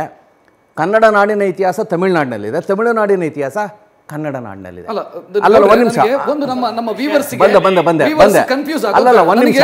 ನಾನು ಅಲ್ಲ. ಮಹಿಷ ಮಂಡಲ ಈಗ ಎಮ್ಮೆ ರಾಜ ಅಂತ ಆದ್ರೆ ಎರುಮೈ ನಾಡು ಸಂಬಂಧಿಸಿದ. ಕುರುಹುಗಳಿದೆಯಾ? ಕುರುಹುಗಳಿದೆಯಾ? ತಮಿಳುನಾಡಿನ ಶಿಲಪ್ಪದಿಗಾರಮಲ್ಲಿ ಎರುಮೈ ನಾಡು ಅನ್ನುವಂಥ ಉಲ್ಲೇಖ ಇದೆ. ಸಾಕಷ್ಟು ಸಂಗಮ ಸಾಹಿತ್ಯದಲ್ಲಿ ಇದೆ ಎರುಮೈ ನಾಡು ಅಂದರೆ ಏನು? ಕಾಡು ಕೋಣಗಳ ನಾಡು ಅಂತ. ಅದನ್ನು ಕೆಲವರು ಹಾಸ್ಯವಾಗಿ ಹಾಗೆಲ್ಲ ತೊಗೊಳ್ತಾರೆ. ಆ- ರೀತಿ ತೊಗೋಬಾರ್ದು. ಯಾಕೆಂದ್ರೆ ನಮ್ಮ ಪೂರ್ವಿಕರು ಹೇಗಿದ್ರು ಅವ್ರು ನಮ್ಮವರು. ನಾವು ಅದನ್ನು ಗೌರವಿಸಬೇಕು. ಕಾಡು ಕೋಣಗಳು ಎಲ್ಲಿ ಹೆಚ್ಚಿದ್ದಾವೆ ಅಂತ ಹೇಳಿದ್ರೆ ಕಾಕತಾಳೀಯನೇನೋ ಗೊತ್ತಿಲ್ಲ? ಇವತ್ತಿನ ಕರ್ನಾಟಕದ ಅರಣ್ಯ ಪ್ರದೇಶ ಬಂಡೀಪುರ ಅಥವಾ ಈ ಪ್ರದೇಶಗಳೆಲ್ಲ ನಾಗರಹೊಳೆ ಇಲ್ಲೆಲ್ಲ ಇದೆಯಲ್ಲ? ಇಲ್ಲಿ ಅತಿ ಹೆಚ್ಚು. ಅದು ಕೇರಳದಲ್ಲೂ ಇದೆ, ತಮಿಳ್ನಾಡಿನಲ್ಲೂ ಇದೆ. ಎರುಮೈ ನಾಡು ಅಂತ ತಮಿಳುನಾಡಿನವರು ನಮ್ಮ ಈ ಒಂದು ನಾಡಿಗೆ ಹೆಸರನ್ನು ಇಟ್ಟಿದ್ರು. ಎರುಮೈ ಅಂದರೆ ಏನು? ಎಮ್ಮೆಗಳ ನಾಡು. ಅದರ ರಾಜನಿಗೆ ಮಹಿಷ ಅಂತ ಸಂಸ್ಕೃತೀಕರಣಗೊಂಡಿದೆ. ಸಂಸ್ಕೃತದಲ್ಲಿ ಮಹಿಷ ಅಂತೇಳಿ ಕರೀತಾರೆ. ಇಲ್ಲಿನ ಮೂಲ ಭಾಷೆನಲ್ಲಿ ಎರುಮೈ ಎರುಮೈ ನಾಡು ಅಂತ ಹೇಳಿ ಅಲ್ಲ ಕರೀತಾರೆ. ನನಗೆ ಅಲ್ಲ ಒಂದ್ ನಿಮಿಷ. ಕನ್ಫ್ಯೂಷನ್ ಅಂದ್ರೆ ಕ್ರಿಸ್ತಪೂರ್ವ ಮೂರನೇ ಶತಮಾನಕ್ಕೆ ಶಾಸನಗಳು ನಮ್ಮ ಬಳಿ ಇರುವಾಗ ಮಹಿಷೇಶ್ ಮಹಿಷಾಸುರನಿಗೆ ಸಂಬಂಧಿಸಿದ ಯಾವ ಶಾಸನಗಳಲ್ಲಿ? ಐತಿಹಾಸಿಕ ಕುರುಹುಗಳಿಲ್ಲ. ಅಶೋಕನ ಶಾಸನಗಳಲ್ಲಿ ಮಹಿಷ ಅನ್ನುವಂಥ ಹೆಸರು ಎಲ್ಲೂ ಇಲ್ಲ. ಎಸ್ ಅಶೋಕನ ಸಮಕಾಲೀನ ಘಟ್ಟದಲ್ಲಿ ರಚನೆ ಆಯ್ತಲ್ಲ ಸಾಹಿತ್ಯ? ಅದರಲ್ಲಿದೆ. ಎಲ್ಲಿದೆ? ಅದು ದೀಪ ಇದು ಅಂತೇಳಿ. ಅದ್ರಲ್ಲಿ ಬರುತ್ತೆ. ಶಾಸನಗಳಲ್ಲಿ ಇಲ್ಲ. ಆದರೆ ಮಹಿಷನ ಮೂಲ ಹೆಸರು ಏನಿತ್ತು? ಪ್ರಾಂತೀಯ ಹೆಸರು ಏನಿತ್ತು ಅಂದರೆ ಎರುಮೈ ನಾಯಕ ಅಂತ ಇತ್ತು. ಅದು ತಮಿಳುನಾಡಿನ ಬುಕ್ಗಳಲ್ಲಿ ಸಿಗುತ್ತೆ. ಯಾವುದೋ? ಅಲ್ಲಿನ ಮಹಾಕಾವ್ಯ. ಶಿಲಪಾದಿಗಾರಂ ಇರ್ಬೋದು ಮಣಿಮೇಕಲೆ ಇರ್ಬೋದು ಅಲ್ಲಿ ಸಿಗುತ್ತೆ. ಸೊ ಹೀಗಾಗಿ ಇಲ್ಲಿ ಒಬ್ಬ ನಾಯಕ ಇದ್ದವನು ಎರುಮೈ ಆಗಿರ್ಬೋದು ಎರುಮೈ ನಾಯಕ. ಮಹಿಷಾಸುರ ಅಂತ ನಾವು ಹಿಂಗೆ ಭಾವಿಸ ಅಲ್ಲೇ ಬಂದಿರೋದು. ಮೂರನೇ ಶತಮಾನದಲ್ಲಿ ಮಹಿಷ ಮಹಿಷಾಸುರ ಮಹಿಷ ಎರುಮೈ ನಾಯಕ ಇದ್ದ ಅಂತ ಹೇಳಿದ್ರೆ ಕಾಲಕ್ರಮೇಣ ಏನಾಗಿದೆ? ಈಗ ಚಾಮುಂಡಿ ಬಂದಿದ್ದು ಯಾವಾಗ? ಇತಿಹಾಸದ ದಾಖಲೆಗಳ ಪ್ರಕಾರ ಹೋದರೆ ಮೈಸೂರು ಅರಸರ ಕಾಲದಲ್ಲಿ. ಮೈಸೂರು ಅರಸರ ಕಾಲಘಟ್ಟ ಶುರು ಆಗೋದು ಯಾವಾಗ? ಸಾವಿರದ ಮುನ್ನೂರ ತೊಂಬತ್ತೊಂಬತ್ತು. ಸಾವಿರದ ಮುನ್ನೂರ ತೊಂಬತ್ತರಲ್ಲೂ ಅವ್ರು ರಾಜರಾಗಿರಲಿಲ್ಲ. ಸಾವಿರದ ಆರುನೂರ ಹತ್ತರಲ್ಲಿ ಅವರು ಪೂರ್ಣ ಪ್ರಮಾಣದ ರಾಜರಾದರು, ವಿಜಯನಗರ ಬಿದ್ದ ಮೇಲೆ. ಪೂರ್ಣ ಪ್ರಮಾಣದ ರಾಜರಾದ ಮೇಲೆ ಅತಿ ಹೆಚ್ಚು ಚಾಮುಂಡಿಗೆ ಮಹತ್ವ ದೊರಕ್ತಾ ಹೋಯಿತು ಅಂದರೆ ಅರ್ಥ ಸಾವಿರದ ಮುನ್ನೂರ ತೊಂಬತ್ತೊಂಬತ್ತು ಇಲ್ಲಾಂದರೆ ಸಾವಿರದ ಐನೂರು ನಂತರದ ದಿನಮಾನಗಳಲ್ಲಿ ಐತಿಹಾಸಿಕವಾಗಿ ಕೆಲವು ಕೃತಿಗಳಲ್ಲಿ ಚಾಮುಂಡಿ ಉಲ್ಲೇಖ ಬರುತ್ತೆ. ಅದನ್ನು ನಾವು ಅಲ್ಗಳೆಯೋಕ್ಕಾಗಲ್ಲ. ಆದರೆ ಮಹಿಷನ ಉಲ್ಲೇಖ ಯಾವಾಗ ಬರುತ್ತೆ ಅಂದರೆ ಕ್ರಿಸ್ತಪೂರ್ವ ಮೂರು. ಕ್ರಿಸ್ತಪೂರ್ವ ಮೂರನೆಯ ಶತಮಾನ ಅಂತ ಹೇಳಿದ್ರೆ ಅದೊಂದು ಮುನ್ನೂರು ವರ್ಷ. ಅಲ್ಲ ಗೌಡ್ರೆ ಒಂದು ಒಬ್ಬ ಒಬ್ಬ ಪ್ರಬಲ ರಾಜನಾಗಿದ್ದಂಥ ವ್ಯಕ್ತಿ ಅವರು ನಂಬಿರುವಂತ ಇತಿಹಾಸದ ಪ್ರಕಾರ ತಾವು ಹೇಳ್ತಾ ಇರುವಂತ ಇತಿಹಾಸದ ಪ್ರಕಾರ ಮಹಿಷಾ ಮಂಡಲವನ್ನ ಆಳ್ತಾ ಇದ್ದಂತ ಒಬ್ಬ ಪ್ರಬಲ ರಾಜ. ಹೌದು. ಆತನಿಗೆ ಸಂಬಂಧಿಸಿದಂತ ಕುರುಹುಗಳು ಈ ಕರ್ನಾಟಕದಲ್ಲಿ ಇರಬೇಕಿತ್ತು. ಶಾಸನಗಳಿರಬೇಕಿತ್ತು ಇರಬೇಕಿತ್ತು. ಅದಕ್ಕೆ ಸಂಬಂಧಿಸಿದಂತದ್ದು ಏನಾದರೂ ಇರಬೇಕಿತ್ತು. ಇರಬೇಕಿತ್ತು ಇದಾವೆ. ಯಾವುದು? ಇವತ್ತಿಗೂ ಶಾಸನಗಳು ದಿನೇ ದಿನೇ ಸಿಗ್ತಾನೆ ಇದೆ. ಮಹಿಷನಿಗೆ ಫೈಂಡ್ ಔಟ್ ಆಗಿಲ್ಲ ಅಂತನಾ? ಆಗದೆ ಇರ್ಬೋದು. ಅಂದರೆ ಶಾಸನಗಳಿಲ್ಲದೆ ಇರ್ಬೋದು. ಆದರೆ ಆ ಕಾಲಘಟ್ಟದ ಸಾಹಿತ್ಯದಲ್ಲಿ ಇದೆಯಲ್ಲ. ಇಲ್ಲಿ ನಮಗೆ ಸಾಹಿತ್ಯ ಒಂದು ಆಕಾರ. ಶಾಸನಗಳು ಒಂದು ಆಕಾರ.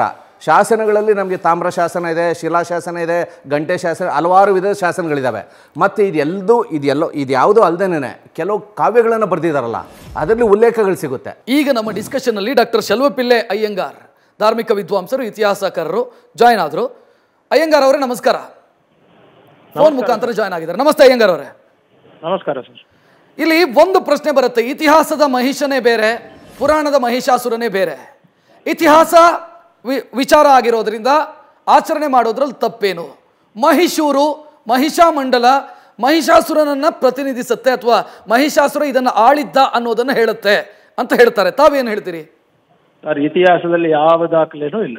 ಮಹಿಷಾಸುರ ಮೈಸೂರನ್ನ ಆಳಿದ್ದ ಅನ್ನೋದಕ್ಕೆ ಒಂದು ದಾಖಲೆನೂ ಇಲ್ಲ. ಹೆಸರು ಮಹಿಷೂರು ಅಂತ ಇದೆ ಇಲ್ಲ ಮಂಡಲ ಮಹಿಷಾಮಂಡಲ ಇದೆ ಅಂತಿದೆ. ನೋಡಿ ಮಹಿಷ ಮಂಡಲದ ಬಗ್ಗೆ ದೊಡ್ಡ ಚರ್ಚೆ ಇದೆ. ಮಹಿಷ ಮಂಡಲ ಬಂತು ಮಹಿಷ್ಮತಿ ನಗರ ಅಂತ ಮಧ್ಯಪ್ರದೇಶದಲ್ಲಿ ಇದೆ ಅಂತ ಕೆಲವರ ಅಭಿಪ್ರಾಯ. ಕೆಲವರು ಅದು ಯಾವ ಜಾಗದಲ್ಲಿ ಇದೆ ಅಂತಾನೆ ಗೊತ್ತಿಲ್ಲ ಅಂತ ಇನ್ನು ಇತಿಹಾಸಕಾರರು ಯಾರೂ ಕೂಡ ಮೈಸೂರೇ ಮಹಿಷ ಅದರಲ್ಲೇ ಡಿಬೇಟ್ಸ್ ಇದೆ ಬೇಕಾದಷ್ಟು. ಒಂದು. ಎರಡನೇದು ಮಹಿ ಮೈಸೂರ್ಗೆ ಎರಡು ಹೆಸರು ಬಂದಿದೆ. ಗಂಗರ ಶಾಸನಗಳಲ್ಲಿ ಮೈಸೂರು ಅಂತ ಹೆಸರು ಇದಕ್ಕೆ ಓಕೆ. ಗೆಜೆಟ್ ಅಲ್ಲಿ ಮೈಸೂರು ಪ್ಲಸ್ ಊರು ಅಂತ ಕರೆದಿದ್ದಾರೆ. ಮೈಸೂರು ಅಂತಂದ್ರೆ ಜಿಂಕೆಗಳು ಓಡಾಡುವ ಜಾಗ. ಆಂಟಿಲೋಪ್ ಅಂತ ಕರೀತಾರೆ. ಅದಿರುವ ಜಾಗ ಅಂತ ಗೆಜೆಟ್ ಕರ್ನಾಟಕ ಸರ್ಕಾರದ ಗೆಜೆಟ್ ಅಲ್ಲಿ ಪ್ರಿಂಟ್ ಆಗಿದೆ. ಇನ್ನು ಈ ಮಹೀಶೂರು ಅಂತ ಕರ್ಕೊಂಡಿರೋದು ಕೂಡ ಮೈಸೂರು ಮಹಾರಾಜರ ಶಾಸನಗಳು ಮತ್ತು ಚಿಕ್ಕ ಗಡಿಯಾರ ಅವ್ರು ಯಾರೋ ಉಲ್ಲೇಖ ಮಾಡ್ತಾ ಇದ್ರಲ್ಲ. ಪುರುಷೋತ್ತಮ ಉಲ್ಲೇಖ ಮಾಡಿ ಹಾ, ಚಿಕ್ಕ ಗಡಿಯಾರದಲ್ಲೂ ಕೂಡ ಮಹಿಶೂರು ಅಂತ ಬರ್ಕೊಂಡಿದ್ದಾರೆ. ಮಹಿ ಅಂದ್ರೆ ಭೂಮಿ, ಭೂಮಿಯಲ್ಲಿ ಶೂರರು ಇರುವ ಪ್ರದೇಶ. ಅದು ಶಂಕರಾಶ, ಷಣ್ಮುಖಾಶ ಅಲ್ಲ. ಮಹಿಷ ಅಂತ ಬಳಸೋದು ಷಣ್ಮುಖಾಶ. ಅದರಲ್ಲೂ ಕೂಡ ಮಹಿಶೂರಪುರ ಅಂತಾನೆ ಕರ್ಕೊಂಡಿದ್ದಾರೆ, ಎಲ್ಲಾ ಶಾಸನಗಳಲ್ಲಿ. ಮಹಿಶೂರಪುರ ಅಂತ ಕರ್ಕೊಂಡಿದ್ದಾರೆ. ಹಾಗಾಗಿ ಈ ಮಹಿಷಾಸುರ, ಅಸುರ ಬೇರೆ, ಮಹಿಷ ಬೇರೆ, ಮಹಿಷಾಸುರ ಅನ್ನೋದೇ ಅನ್ನುವಂತಹ ಯಾವ ಸೊ ಹಿಸ್ಟ್ರಿನ ಕರೆಕ್ಟ್ ಆಗಿ ಇತಿಹಾಸದ ದಾಖಲೆಗಳ ಪ್ರಕಾರ ಹೇಳೋದಾದ್ರೆ, ಇದು ಮಹಿಷಾಸುರ ಅನ್ನೋದು ಬರೋದು ಪುರಾಣಗಳಲ್ಲಿ ಅದು ಮಹಾಭಾರತದಲ್ಲಿಯೇ ಬಂದಿದೆ. ಮಹಾಭಾರತದ ಕಾಲ ಎಲ್ಲಾ ವಿದೇಶಿ ವಿದ್ವಾಂಸರು ಭಾರತದ ಇತಿಹಾಸ ಬರೆದ ಯಾವುದೇ ಪುಸ್ತಕದಲ್ಲಿ ತೆಗೆದು ನೋಡ್ಬೋದು ನೀವು. ಅದು ಬಂದು ಕ್ರಿಸ್ತ ಪೂರ್ವ ಆರನೇ ಶತಮಾನ, ಅಂದ್ರೆ ಬುದ್ಧರ ಅವತಾರ ಆಗೋದಕ್ಕಿಂತ ಮುಂಚೆ, ಬುದ್ಧ ಅಥವಾ ಬೌದ್ಧ ಧರ್ಮ ಅಥವಾ ಜೈನ ಧರ್ಮ ಬರೋದಕ್ಕಿಂತ ಮುಂಚೆನೆ ನಿಮಗೆ ಮಹಾಭಾರತದಲ್ಲಿ ದುರ್ಗಾ ಮಹಿಷಾಸುರ ಮರ್ದಿನಿಯ ಕಥೆಗಳು ಬಂದ್ಬಿಡ್ತವೆ. ಸೊ ಹಾಗಾಗಿ ಮಹಿಷಾಸುರ ಅನ್ನೋ ದುರ್ಗೆಯ ಕಥೆ ನೋಡೋದಾದ್ರೆ ವೇದಗಳಲ್ಲೇ ಬರ್ತದೆ ಉಪನಿಷತ್ತುಗಳಲ್ಲಿ. ಸೊ ಹಾಗಾಗಿ ಇದೆಲ್ಲವೂ ಅತ್ಯಂತ ಪ್ರಾಚೀನ ಅಯ್ಯಂಗಾರ್ ಅವರೇ ನನ್ನ ಜೊತೆಗೆ ತಲಕಾಡು ಚಿಕ್ಕರಂಗೇಗೌಡರು ಇದ್ದಾರೆ ಜೊತೆಗೆ ಪುರುಷೋತ್ತಮ ಅವರು ಕೂಡ ಹೇಳ್ತಾ ಇರೋದು ಅದನ್ನೇ. ಈ ಮಹಿಷ ಅನ್ನೋನು ಅಶೋಕನ ಸಮಕಾಲೀನ. ಕ್ರಿಸ್ತ ಪೂರ್ವ ಮೂರನೇ ಶತಮಾನ ಅಶೋಕನ ಸಮಕಾಲೀನ ಈತ. ಯಾವ ದಾಖಲೆ ಇದೆ ಸರ್ ಅವರು ತಮಿಳುನಾಡಿನ ಸಾಹಿತ್ಯದಲ್ಲಿ ಎರಮೆನಾಡು ಅಂತ ಬಣ್ಣಿಸಲಾಗಿದೆ ಕರ್ನಾಟಕವನ್ನ. ಆ ಎರಮೆನಾಡನ್ನ ನಾಡಿನ ಬಗ್ಗೆ ಆಳ್ತಾ ಇದ್ದವನು ಮಹಿಷ ತಮಿಳು- ಸಾಹಿತ್ಯಗಳಲ್ಲಿ ಎರುಮೈ ಅಂತ ಹೇಳಿದ್ದಾರೆ. ಎರುಮೈ ಅಂತಂದ್ರೆ ಎಮ್ಮೆ ಅದು ನಿಜ. ಆದ್ರೆ ಅಲ್ಲಿ ಹೆಣ್ಣು ಕೋಣವನ್ನು ಹೇಳಿಲ್ವಲ್ಲ? ಹೆಣ್ಣು ತಮಿಳಲ್ಲಿ ಎರಮೈ ಅಂತಂದ್ರೆ ಹೆಣ್ಣು ಅಂತ. ಹೆಣ್ಣು ಹೆಣ್ಣು ಇದದು. ಎಂ- ಎಮ್ಮೆ ಅಂತ ಎಮ್ಮೆ. ಅಂದ್ರೆ. ಕೋಣನ್ ಹೇಳ್ಬೇಕಾಗಿತ್ತಲ್ಲ ಇವರು. ಅದು ಅಲ್ದೇನೆ ಅವರು ಹೇಳೋದೇನು ಅಂತಂದ್ರೆ ತಮಿಳುದು ನೀವು ಅದೇ ದಾಖಲೆ ನೋಡ್ಬೋದು ನೀವು. ಅದು ಹಾರಂಗಿ ಪ್ರದೇಶದಲ್ಲಿ ಅಂದ್ರೆ ಹಾರಂಗಿ ನದಿ ಇದೆಯಲ್ಲ ಅದರ ಪ್ರದೇಶದಲ್ಲಿದ್ದು ಎರಮೈ ಎನ್ನುವ ಒಬ್ಬ ನಾಯಕನನ್ನ ಕುರಿತು ಹೇಳ್ತದೆ. ಆದ್ರೆ ಇಲ್ಲಿ ಮೈಸೂರಲ್ಲಿ ಎರಮೈ ನಾಯಕ ಇದ್ದ ಅಂತ ಎಲ್ಲೂ ಹೇಳೋದಿಲ್ಲ. ತಮಿಳಿನ ಯಾವ ಸಾಹಿತ್ಯವು ಯಾವ ಶಿಲಪ್ಪಾಧಿಕಾರಮ್ಮಲ್ಲೂ ಇಲ್ಲ ಯಾವ ಇದರಲ್ಲೂ ಇಲ್ಲ. ಒಡುಗನಾರ್ ಅಂತ ಒಂದು ಉಲ್ಲೇಖ ಬರ್ತದೆ ಆ ಒಡುಗನಾರಲ್ಲಿ ಹೇಳಿರೋದು. ಹಾಗಾಗಿ ಅಹನಾರು ಅಹನಾನೂರು ಪುರನಾನೂರು ಎಟ್ಟುಪಾಟ್ ಪತ್ತು ತೋಹೆ ಯಾವುದರಲ್ಲೂ ಇಲ್ಲ.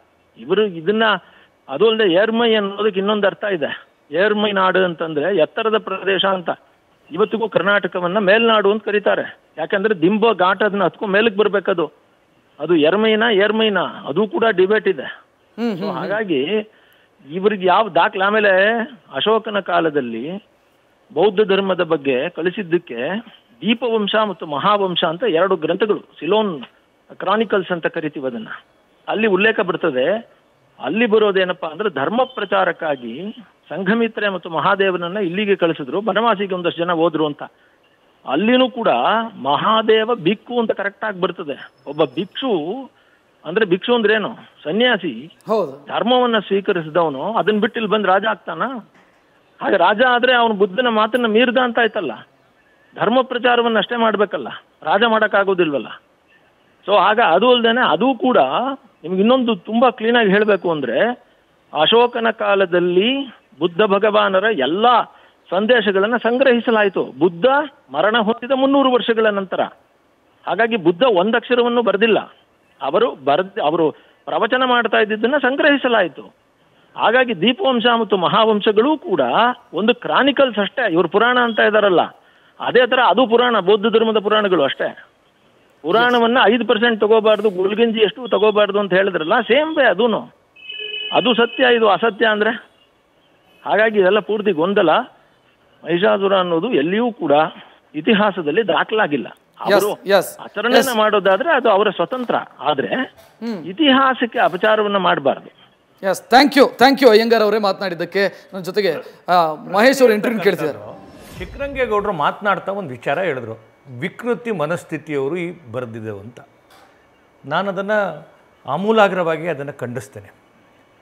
ಏನು ಈ ಪುರಾಣದೊಳಗಡೆ ಉಲ್ಲೇಖ ಆಗಿರ್ತಕ್ಕಂಥದ್ದು, ಯಾವುದೆಲ್ಲ ನಮ್ಮ ಪುರಾಣಗಳಿದ್ದಾವೆ ಸಾವಿರಾರು ವರ್ಷಗಳ ಆ ಸನಾತನ ಮೌಲ್ಯವನ್ನೇ ಈ ದೇಶದಲ್ಲಿ ಬಿಟ್ಟೋಗಿರ್ತಕ್ಕಂಥದ್ದು. ನನಗೆ ಈ ಪುರುಷೋತ್ತಮ್ ಅವರು, ಭಗವಾನ್ ಅವರು, ಯಾರೆಲ್ಲರೂ ಕೂಡ ಇದನ್ನು ಆಚರಣೆ ಆಗಿದ್ದ ಕೂಡಲೇ ನಮ್ಮ ಸಮಾಜ ಹಿಂದೂ ಮೌಲ್ಯ ಹೋಗ್ಬಿಡತ್ತೆ ಅಂತ ಇದು ಮೃತ್ಯುಂಜಯ ಸಮಾಜ ಇಂಥವ್ರು ನೂರ್ ನೂರ್ ಕಾರ್ಯಕ್ರಮ ಮಾಡಿದ್ರೆ? ಒಂದಿಷ್ಟು ಹೇಳ್ತೀನಿ.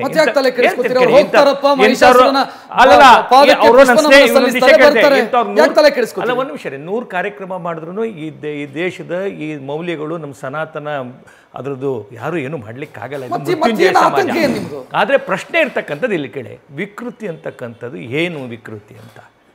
ಏನು ಸಂಸ್ಕೃತಿ ಇರ್ಬೋದು ಇನ್ನೊಬ್ಬರಿಗೆ ವಿಕೃತಿ ಆಗಲ್ಲ. ಹಾಗಲ್ಲ ಹಾಗಲ್ಲ ಹಾಗಲ್ಲ. ನೋಡಿ ಇತಿಹಾಸ ನೋಡಿ ಒಂದು ಒಂದು ಒಂದು ಮಾತು ಹೇಳ್ತೀನಿ. ಆಗಲ್ಲ. ಒಂದು ಮಾ ಇದು ಏನಂತಂದ್ರೆ ಅದಕ್ಕೆ ನಮ್ಮ- ದೇಶದ ನಮ್ಮ ದೇಶದ ಪ್ರತಿಯೊಂದು ಆಚರಣೆಯ ಹಿಂದ್ಗಡೆ ಇರ್ತಕ್ಕಂಥ ಒಂದು ಮೌಲ್ಯ ಇದೆಯನ?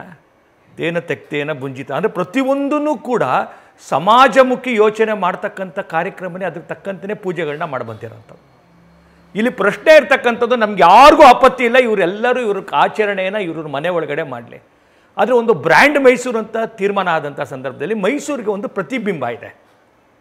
ಒಂದು ಮೈಸೂರಿಗೆ ಏನಿದೆ ಚಾಮುಂಡಿ ತಬ್ ಇದು ಅಂತ. ಆ ಮೈಸೂರಿನ ಭಾವನೆಯನ್ನ ಘಾಸಿ ಮಾಡುವಂತ ಇವ್ರಿಗೆ ಯಾರು ಅಧಿಕಾರ ಮತ್ತೆ ನಾನು ಮುಂಚೆ ಹೇಳ್ತೀನಿ ಕೇಳಿ ಇನ್ನೊಂದೇನು ಪುರುಷೋತ್ತಮ ಅವರೇ, ಇದು ವಿಗ್ರಹ ಭಂಜಕ ಕೂಡ ಮನಸ್ಥಿತಿ. ಸಿದ್ದರಾಮಯ್ಯನವರ ಈ. ತಥಾಕಥಿತ ಎಡಪಂಥೀಯರ ಅರ್ಥ ಆಚರಣೆ ನನಗೆ ಆಶ್ಚರ್ಯ. ಈ ಪುರುಷೋತ್ತಮ ಒಂದ್ ಯಾಕೆ ನಿಮಿಷ ಪುರುಷೋತ್ತಮ ಅವರೇ ವಿಗ್ರಹ ಭಂಜಕ ಮನಸ್ಥಿತಿ ಇದು ಶ್ರದ್ಧೆಗಳ ಮೇಲೆ ಘಾಸಿ ಮಾಡ್ತಿದ್ದಾರೆ. ಅದೇನೋ ಅವ್ರು ಮುಗಿಸ್ಬಿಡಿ ಸರ್. ಶ್ರದ್ಧೆಗಳ ಮೇಲೆ ಘಾಸಿ ಮಾಡ್ತಿದ್ದಾರೆ ಇವರೆಲ್ಲ ಅಂತ. ಅವ್ರ ಅವ್ರು ಫಸ್ಟ್ ಮುಗಿಸ್ಬಿಡ ಕೇಳಿ. ಶ್ರದ್ಧೆಗಳ ಮೇಲೆ ಘಾಸಿ ಮಾಡ್ತೀವಿ ಅಂತ ಹೌದಾ? ಚಾಮುಂಡಿ ಬಿಡ್ತದೆ. ಚಾಮುಂಡಿಗೆ ಯಾವ ಇತಿಹಾಸ ಇದೆ? ಚಾಮುಂಡಮ್ಮ ಯಾರ ಮಗಳು? ಎಲ್ಲಿ ಹುಟ್ಟಿದ್ಲು ಎಲ್ಲಿ ಬೆಳೆದು ಅವ್ರ ಅಪ್ಪ ಯಾರು? ಅವ್ರ ಅವ್ವ ಯಾರು? ಅಂತಕ್ಕಂಥದ್ರ ಪ್ರಶ್ನೆ ಮಾಡ್ತೀವಿ. ಸನಾತನ ಧರ್ಮ ಸಾಮಾಜಿಕ ಸಮಾನತೆನ ಕೊಟ್ಟಿದೀಯಾ? ಬಿಡಿ ಅದು ಬೇರೆ ಡಿಬೇಟ್ ಸಾಮಾಜಿಕ ಸಮಾನತೆ ನಾನು ನಾನು ಇರೋದು ಒಂದ್ ನಿಮಿಷ. ಮಾಡ್ಕೊಳ್ಳಿ. ಪುರುಷೋತ್ತಮ ಅವರೇ. ಈಗ ಅರ್ಥವಾಯ್ತಾ? ಒಂದು ಶ್ರದ್ಧೆ- ಪುರಾಣ- ನಿಮಿಷ, ಒಂದು ನಿಮಿಷ. ಪುರಾಣವನ್ನ ಕೇಳಕ್ಕೆ ರೆಡಿ ಇಲ್ಲ. ಇವರು. ಪುರಾಣದ ಇತಿಹಾಸವನ್ನ ನಾನು ಕೇಳ್ಕೊಂಡು ಕುಂತ್ಕೊಳಕ್ ಸರಿ, ಸರಿ, ಈಗ ಪುರುಷೋತ್ತಮರ ದಯವಿಟ್ಟು ಇಲ್ಲಿ ಕೇಳಿಸ್ಕೊಳ್ಳಿ. ಏನು ಇವ್ರು ಇತಿಹಾಸ ಹೇಳಕ್ ಹೋಗ್ತಾ ಇಲ್ಲ. ಒಂದ್ ಮೈಸೂರಿನಿಗೆ ಒಂದು ಇತಿಹಾಸ ಇದೆ. ಮೈಸೂರಿಗೆ ಒಂದು ಚರಿತ್ರೆ ಇದೆ. ಮೈಸೂರನ್ನ ಇವತ್ತು ಈ ಕೂಡ ಸಿದ್ದರಾಮಯ್ಯನವರು ಬಂದ ಬಂದ್ಮೇಲೆ ಕನ್ನಡ ನಾಳೆ ಒಂದು ದಿನ ನಾನು ನಾ ಹೇಳ್ತೀನಿ ಕೇಳಿ. ಇವ್ರು ತಥಾಕಥಿತ ಈ ವ್ಯಕ್ತಿಗಳು ಅಮಾ ಅವರ ಜಯಂತಿನೂ ಮಾಡ್ತಾರೆ ಟಿಪ್ಪು ಜಯಂತಿನೂ ಮಾಡ್ತಾರೆ ಇದಿರ್ತಕ್ಕಂಥದ್ದು ಹಿಂದೂ ಸಮಾಜವನ್ನ ದುರ್ಬಲ. ಮಾಡ್ಬೇಕಂತ ಒಂದು ಸಮಾಜವನ್ನ ಎತ್ತಿ ಕಟ್ಬಿಟ್ಟು ಇದರಲ್ಲಿ ರಾಜಕೀಯದ ಲಾಭ ಮಾಡಬೇಕು ಅಂತ ಮಾಡಿರೋದು ಬಿಟ್ರೆ ಇನ್ಯಾವ ಆಪ್ಷನ್ ಇಲ್ಲ ಇದರಲ್ಲಿ ಇಡೀ ಪ್ರೋಸೆಸ್ ಇದು ಟೂಲ್ ಕಿಟ್ ಅನುಗುಣ ಈ ತರ ವ್ಯಕ್ತಿಗಳು ತಥಾಕಥಿತ ಈ ತರ ಜನಗಳು ಭಾರತವನ್ನ ಹಿಂದೂ ಧರ್ಮವನ್ನ ದುರ್ಬಲ ಮಾಡುವಂತ ಕೆಲಸವನ್ನ ಮಾಡ್ತಿರೋದು ಒಂದು. ಸಮುದಾಯವನ್ನ ಹಿಂದೂ ಧರ್ಮದ ಮಾಡ್ಬೇಕಾಗಿರ್ತಕ್ಕಂಥ ಪ್ರಯತ್ನ ಬೇಡ, ಬೇಡ. ದಯವಿಟ್ಟು, ದಯವಿಟ್ಟು. ಇದು. ಒಂದು ನಿಮಿಷ ಮಹೇಶ್ ಅವರೇ ಇತಿಹಾಸದ ವಿಚಾರ ಮಾತಾಡುವಾಗ ನಾವು ನಿರ್ಭಾವುಕರಾಗಿ ಮಾತಾಡ್ತೀವಿ.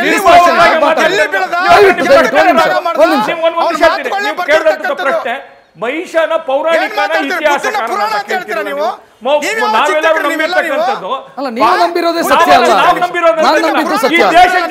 ನೂರಾರು ವರ್ಷಗಳಿಂದ ಅನ್ಕೊಂಡ್ ಬಂದಿರ್ತಕ್ಕಂಥದ್ದು. ಒಬ್ಬ ಮಹಿಷ ಅಂತಕ್ಕಂಥದ್ದು ಒಬ್ಬ ದೇವ ಒಬ್ಬ ರಾಕ್ಷಸ. ಚಾಮುಂಡಿ ಅದೇ ಕಾರಣಕ್ಕಾಗಿ ಎರಡು ವಾದಗಳನ್ನ ಎರಡು ವಾದಗಳನ್ನು ಇತಿಹಾಸ ಎರಡು ವಾದಗಳನ್ನ ಪ್ರತಿಪಾದಿಸುವ ಪ್ರತಿಪಾದಿಸುವವರನ್ನು ಅದನ್ನ ಕರೆದಿರೋದಿಲ್ಲ. ಇತಿಹಾಸ ಅಂತ ಸಮಾನತೆ ಬಿಂಬಿಸ್ತಕ್ಕಂಥ ಒಂದು ನಿಮಿಷ, ಒಂದು ಹೋಗ್ತಾ ನಿಮಿಷ. ಇರೋದನ್ನೇ tool kit. ಇರಿ ಇರಿ. ಮಹೇಶ್ ಅವರೇ ಆ ಇತಿಹಾಸ ಈಗ ನೀವು ಮಾತಾಡುವಾಗ. ನಿಮ್ಮ ಅಭಿಪ್ರಾಯವನ್ನು ಸಂಪೂರ್ಣವಾಗಿ ವಿಕೃತ ಅವಕಾಶ ಅವರ ಮಾತನ್ನ ಕೇಳಿಕೊಳ್ಳುವಂತ ತಾಳ್ಮೆ ನಮಗಿರಬೇಕು. ಎಲ್ಲವೂ ಕಟ್ಟು ಕತೆಗಳು ನಿಮ್ದು ಒಂದು ನಿಮಿಷ ಪುರುಷೋತ್ತಮ ಮಹೇಶ್, ಕಾಂಗ್ರೆಸ್ಸಿನ ಏಜೆಂಟ್ ಆಗಿ ಕಾಂಗ್ರೆಸ್ಸಿನ ಮಾಡ್ತಾ ಟೂಲ್ ಕಿಟ್ ಆಗಿ ನೀವು ನೀವು. ಯಾವ ಕಾರಣಕ್ಕಿಲ್ಲ ನಾವು ಒಂದ್ ನಿಮಿಷ, ಈ ಸಂಸ್ಕೃತಿ. ಮೌಲ್ಯವನ್ನು ಮಣ್ಣಿನ ವಿಚಾರ ಮಣ್ಣಿನ ಸಂಸ್ಕೃತಿ ನೀವಿಬ್ರು ಜಗಳ ಆಡ್ಕೊಂಡ್ರೆ ಇಶ್ಯೂ ಏನು ಅನ್ನೋದು ಜನರಿಗೆ ಕಮ್ಯುನಿಕೇಟ್ ಒಂದ್ ನಿಮಿಷ ಪುರುಷೋತ್ತಮ ಅವರೇ ದಯವಿಟ್ಟು ದಯವಿಟ್ಟು ಪುರುಷೋತ್ತಮ ಅವರೇ. ಒಂದ್ ನಿಮಿಷ ಕೇಳಿಸ್ಕೊಳ್ಳಿ ಪುರುಷೋತ್ತಮ ಅವರೇ. ಒಂದ್ ನಿಮಿಷ ಮಹೇಶ್ ಅವರೇ ಪುರುಷೋತ್ತಮ ಅವರೇ ಒಂದ್ ನಿಮಿಷ ಒಂದ್ ನಿಮಿಷ ಒಂದ್ ನಿಮಿಷ. ಈಗ ಪುರುಷೋತ್ತಮ ಅವರೇ ಇವ್ರದೊಂದು ಪ್ರಶ್ನೆ ಇರೋದು ಏನು ಅಂತಂದ್ರೆ ಈ ಸಮಾಜ ಶ್ರದ್ಧೆ ಅನ್ನುವಂಥ ಊರುಗೋಲಿನ ಮೇಲೆ ನಿಂತಿದೆ. ಆ ಶ್ರದ್ಧೆಯ ಊರುಗೋಲನ್ನ ಕಸೀತಾ ಇದ್ದಾರೆ ಇವರೆಲ್ಲ ಸೇರ್ಕೊಂಡು. ವಿಗ್ರಹ ಭಂಜಕ ಮನಸ್ಥಿತಿ ಇದು. ಒಂದು ನಂಬಿಕೆಯನ್ನ ಸುಖ ಸುಮ್ಮನೆ ಅಲ್ಲಗಳೆಯಲಾಗ್ತಾ ಇದೆ ಅಂತ ಏನು ಹೇಳ್ತೀರಿ? ಸರ್, ನಾವು ಯಾವುದೇ ವಿಗ್ರಹವನ್ನು ಅಲ್ಲೆಗಳಕ್ಕೆ ಹೋಗಿಲ್ಲ ನಾವು. ನಾವು ಮೈಸೂರಿನ ಆದಿ ಪುರುಷ ಆದಿ ದೊರೆ ನನಗೆ ಬೇಕು. ನಾನು ಆರಾಧಿಸ್ತಾ ಇದ್ದೀನಿ. ನಾನು ಗೌರವಿಸ್ತಾ ಇದ್ದೀನಿ. ನಾನು ಪೂಜಿಸ್ತಾ ಇದ್ದೀನಿ. ಇವ್ರನ್ನೇನು ನಾನು ಕರೆದಿರೋಲ್ಲ ಬನ್ನಿ ಅಂತೇಳಿ ನೀವು ನಿಮ್ಮ ಮನೆ ನೀವು ಮಾಡಿ, ಮೂರನೇ ಸಿಕ್ಕಿದೆ. ದೊಡ್ಡದಾಗಿ ಏ, ಮಹಿಷಾಸುರನ ನೀವು ನಿಮ್ಮ ಮನೆ ನಿಲ್ಸ್ಕೊಳ್ಳಿ. ಒಳಗೆ ಮಾಡ್ಕೊಳ್ರಿ, ಮಹಿಷಾಸುರನ ತಗೊಂಡು. ತಾಯಿ ನಮ್ಗೇನು ನೀವು ಮೈಸೂರಿಗೆ ಒಂದು ಇಮೇಜ್ ಇದೆ ಮೈಸೂರಿಗೆ ಜಗತ್ನಲ್ಲಿ ಒಂದು ಖ್ಯಾತಿ ಇದೆ ಇವತ್ತು ಚಾಮುಂಡಿ ಅಂದ್ಬಿಟ್ಟು ಆ ಮೈಸೂರನ್ನ ಎತ್ತರಂತ ಕೆಲಸ ಮಾಡಿ. ನಿಮ್ಮಿಂದ ನಾ ಕಲ್ಸ್ಕೋಬೇಕಾಗಿಲ್ಲ. ನಿಮ್ಮಿಂದ ನಿಮ್ಮಂತ ಜಾತಿವಾದಿಗಳಿಂದ ನಾ ಕಲ್ಸ್ಕೋಬೇಕಾಗಿಲ್ಲ. ನಿಮ್ಮಂತ ಧರ್ಮವಾದಿಗಳಿಗೆ ಕಲ್ಸ್ಕೋಬೇಕಾಗಿಲ್ಲ. ನಿಮ್ಮ ದೇವ್ರುಗಳನ್ನ ಕರ್ಕ ನಿಮ್ಮಲ್ಲಿ ಪೂಜೆ ಮಾಡ್ಕೊಳ್ರಿ. ನೀವ್ಯಾಕೆ ಪಬ್ಲಿಕ್ ಆಗಿ ಇಟ್ಟಿದ್ದೀರಿ? ನೀವು ನಿಮ್ಮ ಮನೆ ತಗೊಂಡ ಮಾಡ್ಕೊಳ್ಳಿ. ಯಾರು ಬೇಡ ಅಂತ ಹೇಳ್ತಾರೆ. ಈಗ ಪುರುಷೋತ್ತಮ ಅವರೇ. ನಾ ಮಾತ್ರ ನಮ್ಮನೆ ತಗೊಂಡೋಗ್ಬೇಕಂತೆ. ಈಗ ಐ- ನಿಂದು ಒಂದ್ ಮಾತ್ರ. ಬೀದಿಲಿ ಇರ್ಬೇಕಂತೆ. ಹೇಳಿ.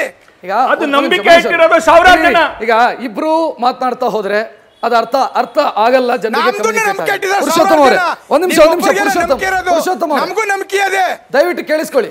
ಪುರುಷೋತ್ತಮ ಅವರೇ ತಾವು ಹೇಳಿದ್ರಿ ಮಹಿಷ ಅನ್ನೋದು ಐತಿಹಾಸಿಕ ಸತ್ಯ ಅಂತ. ಬೌದ್ಧ ಧರ್ಮವನ್ನ ಪ್ರತಿಪಾದಿಸ್ತಾ ಇದ್ದಂತ ರಾಜ ಅನ್ನೋದು ನೀವು ಹಿಂದಿನಿಂದಲೂ ಕೂಡ ಪ್ರತಿಪಾದಿಸ್ತಾ ಬರ್ತಾ ಇರುವಂತ ವಿಚಾರ. ನನಗೊಂದು ಪ್ರಶ್ನೆ ಇದೆ ಇಲ್ಲಿ. ಮಹಿಷಾಸುರ ಬೌದ್ಧ ಧರ್ಮವನ್ನ ಪ್ರತಿಪಾದಿಸ್ತಾ ಇದ್ದಂತ ರಾಜ ಅಂತ ಆದ್ರೆ ಆತನ ಕಾಲದಲ್ಲಿ ಕರ್ನಾಟಕದಲ್ಲಿ ಬೌದ್ಧ ಧರ್ಮ ದೊಡ್ಡ ಮಟ್ಟದಲ್ಲಿ ಬೆಳೆದಿರ್ಬೇಕಲ್ವಾ? ಪಿಳ್ಳೆ ಅವರು ಮಾತನಾಡ್ತಾ ಹೇಳಿದ್ರು. ಒಂದು ಪಾಯಿಂಟ್ ಇದೆ. ಈ ಎರಮೈ ಅನ್ನುವಂಥ ಶಬ್ದವನ್ನು ತಾವು ಎಮ್ಮೆ ಅನ್ನುವಂಥ ಶಬ್ದ ಆಗಿರಬಹುದು ಅನ್ನೋ ಕಾರಣ ತಮ್ಮ ವಿವರಣೆಯನ್ನು ಹೇಳಿದ್ರಿ. ಅವ್ರು ಹೇಳ್ತಾ ಇರೋದು ಅದು ಎತ್ತರದ ಪ್ರದೇಶ ಅನ್ನೋ ಕಾರಣಕ್ಕಾಗಿಯೂ ಕೂಡ ಇರಬಹುದು ಅನ್ನೋದು ಅವ್ರದ್ದು ಇದಿರೋದು. ಅಂದರೆ ವಿವರಣೆ ಇರೋದು. ಸೊ ತಾವು ಏನು ಹೇಳ್ತೀರಿ? ಅಂದರೆ ಇತಿಹಾಸವನ್ನು ಚಿಕ್ಕರಂಗೇಗೌಡರು ಒಂದು ದೃಷ್ಟಿಯಲ್ಲಿ ನೋಡಿದರೆ ಶೆಲ್ವಪಿಳ್ಳಿ ಅವರು ಮತ್ತೊಂದು ದೃಷ್ಟಿಯಲ್ಲಿ ನೋಡಬಹುದು. ಇತಿಹಾಸದಲ್ಲಿ ಸತ್ಯ ಯಾವುದು ಅನ್ನೋದನ್ನು ತಿಳ್ಕೊಳ್ಳೋ ತಿಳ್ಕೊಳ್ಳುವಂಥ ಪ್ರಯತ್ನ ಸಂಶೋಧನೆ ನಿರಂತರವಾಗಿ ಆಗ್ತಾ ಇರಬೇಕಾಗತ್ತೆ. ಏನು ಹೇಳ್ತೀರಿ ಇದಕ್ಕೆ ಈ ವಿವಾದಕ್ಕೆ ಸಂಬಂಧಿಸಿ? ನೋಡಿ ಇದು ಪ್ರತಿಯೊಂದು ಪದಕ್ಕೂ ಹಲವಾರು ಅರ್ಥಗಳಿರ್ತವೆ ಹೌದು. ಅವರವರು ಯಾವ ರೀತಿ ವ್ಯಾಖ್ಯಾನ ಮಾಡ್ತಾರೋ ಅದ್ರ ಮೇಲೆ ಡಿಪೆಂಡ್ ಆಗಿರುತ್ತೆ. ಈಗ ಕರುನಾಡು ಅಂತ ಹೇಳ್ತಾರೆ. ಕರು ಅಂದರೆ ಎತ್ತರ ಪ್ರದೇಶ ಅಂತ ನಾವೆಲ್ಲ ತಿಳ್ಕೊಂಡಿರೋದು. ಎರುಮೈ ಅಂತ ಹೇಳಿದ್ರೆ ಎಮ್ಮೆಗಳ ನಾಡು ಅಂತ ತಿಳ್ಕೊಂಡಿರೋದು. ಎರುಮೈಗೆ ಇನ್ನೊಂದು ಅರ್ಥ ಇದೆ ಅಂದರೆ ಎಸ್, ಇನ್ನೊಂದಿದ್ರೆ ಅದನ್ನು ಕೋಟ್ ಮಾಡಬೇಕಾಗುತ್ತೆ. ಈಗ ಕರ್ನಾಟಕ, ಕರುನಾಡು ಅಂತ ಹೇಳ್ತೀವಿ. ಕರುನಾಡೆ ಬಂದು ಕರ್ನಾಟಕ ಆಗಿದೆ ಅಂತೇಳಿ. ಅಂದರೆ ತಮಿಳುನಾಡಿಗೆ ನಾವು ಎತ್ತರ ಪ್ರದೇಶದಲ್ಲಿದ್ದೀವಿ ಅದು ಬೌಂಡ್ರಿ ಬಂದು ಅಥವಾ ಎಕ್ಸಾಕ್ಟ್ ಬಾರ್ಡ್ರ್ ಬಂದು ಎಲ್ಲಿ ಅಂತ ಹೇಳೋಕ್ಕಾಗಲ್ಲ.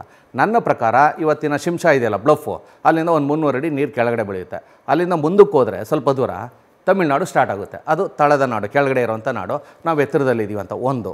ಆಮೇಲೆ ಮಹಿಷ ಇದ್ದಿದ್ದು ಕ್ರಿಸ್ತಪೂರ್ವ ಮೂರನೇ ಶತಮಾನ ದೀಪವಂಶದ ಇದ್ರ ಪ್ರಕಾರ, ಅದನ್ನೂ ಒಂದು ಪುರಾಣವೇ ಆದರೂ ಕೂಡ ಸಿಕ್ಕಿರೋ ದಾಖಲೆ ಪ್ರಕಾರ ನಾನು ಈಗಾಗಲೇ ನಿಮ್ಗೆ ಹೇಳಿದೆ, ಅಶೋಕನ ಶಾಸನಗಳು ಎಲ್ಲೆಲ್ಲಿ ಸಿಕ್ಕಿದೆಯೋ, ಅಲ್ಲಿ ಮಹಿಷನ ಉಲ್ಲೇಖ ಬರಬೇಕು ಅಂತ ಬಯಸೋದು ತಪ್ಪಾಗ್ಬಿಡುತ್ತೆ. ಈಗ ಕುಂತಳ ನಾಡಲ್ಲಿ ಬಂದಿರುತ್ತೆ, ಕಂಪ್ಲಿಯಲ್ಲಿ ಸಿಕ್ಕಿರುತ್ತೆ, ಹೊಸಪೇಟೆಯಲ್ಲಿ ಸಿಕ್ಕಿರುತ್ತೆ ಆಗ ಈ ಇದೇ ಬೇರೆ ದೇಶ ಅಂತ ಕರೀತಾ ಇದ್ರು ಅದನ್ನೇ ಬೇರೆ ದೇಶ ಅಂತ ಕರೀತಿದ್ರು. ಕೆಲವರು ಈ ವ್ಯಾಖ್ಯಾನವನ್ನು ಬೇರೆ ಬೇರೆ ರೀತಿಯಲ್ಲಿ ಹೇಳ್ತಾರೆ. ಸೊ ಹೀಗಾಗಿ ಆ ಒಂದು ಬನವಾಸಿಯಲ್ಲಿ ಸಿಕ್ಕಿರುವಂತಹ ಶಾಸನದಲ್ಲಿ. ಮೈಸೂರು ರಾಜರ ಉಲ್ಲೇಖದ ಅವಶ್ಯಕತೆ ಇರಲ್ಲ. ಒಂದು ನಿಮಿಷ. ಈಗ ಮಹಿಷನ ಅಸ್ತಿತ್ವದ ಬಗ್ಗೆ ಇತಿಹಾಸ ದಾಖಲೆಗಳು ಸಿಗಲ್ಲ ಅಂತಾದ್ರೆ ನಾವು ನಾನು ನೀವು ಹೇಳಿದ್ರಿ ಅಂತ ಹೇಳಲ್ಲ. ರಾಮ ಯಾವ ಕಾಲೇಜಲ್ಲಿ ಇಂಜಿನಿಯರಿಂಗ್ ಮಾಡಿದ ಅಂತ ಪ್ರಶ್ನೆ ಮಾಡೋ ಮಾಡುವಂತ ಬುದ್ಧಿ ಬುದ್ಧಿವಂತರು. ಸೊ ಅದಕ್ಕೆ ದಾಖಲೆ ಕೊಡಬೇಕು. ಅಂತಾದ್ರೆ ಇದಕ್ಕೂ ದಾಖಲೆ ಕೊಡಲಿಲ್ಲ? ನೀವು ಅವ್ರನ್ನ ಇದಕ್ಕೂ ದಾಖಲೆ ಕೊಡಲಿಲ್ಲ ಆ ಪ್ರಶ್ನೆ ಯಾರು ಕೇಳಿದಾರೆ ಅವ್ರನ್ನ ಕೇಳಿ. ಯಾಕೆಂದ್ರೆ ಸಾವಿರ ಜನ ಸಾವಿರ ಪ್ರಶ್ನೆ ಕೇಳ್ತಾರೆ ಅದೆಲ್ಲ ನಂದಾಗಿರಲ್ಲ. ನನ್ನ ಪ್ರಶ್ನೆ ಬೇರೆ.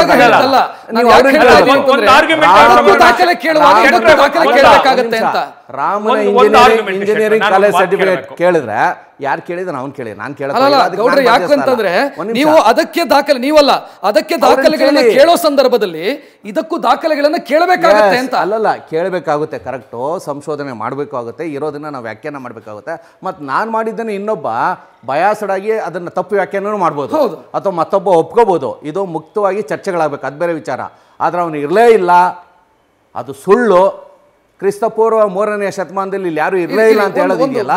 ಆಮೇಲೆ ಪ್ರಾರಂಭದಲ್ಲಿ ನಾನು ಹೇಳಿದೆ. ಒಂದ್ ನಿಮಿಷ, ಒಂದು ಪಾಯಿಂಟ್ ಕೇಳಬೇಕು. ನನಗೆ ಹತ್ರ. ಒಂದು ಒಂದು ಬೇಕು ಸರ್. ಅಲ್ಲ, ಒಂದ್ ಪುರುಷೋತ್ತಮ ಅವರೆಲ್ಲ ಆಗ್ಬಿಡತ್ತೆ. ಪ್ರಶ್ನೆ ನನಗೆ- ನನ್ನ ಹತ್ರ ನನಗೆ ನಿಮಿಷ ಟೈಮ್ ನನಗೆ ನಿಮಿಷ ಒಂದು ಮಹಿಷ ಒಂದು ನಿಮಿಷ, ಮಹಿಷ ಒಂದು ನಿಮಿಷ, ಪ್ಲೀಸ್ ಒಂದು ಆದರ್ಶ ಒಂದು please, please. ಇವತ್ತಿನ ಪ್ಲೀಸ್ ಕಾಲಕ್ಕೆ ಪ್ಲೀಸ್ ಮಹೇಶ್ ಮಹೇಶ್.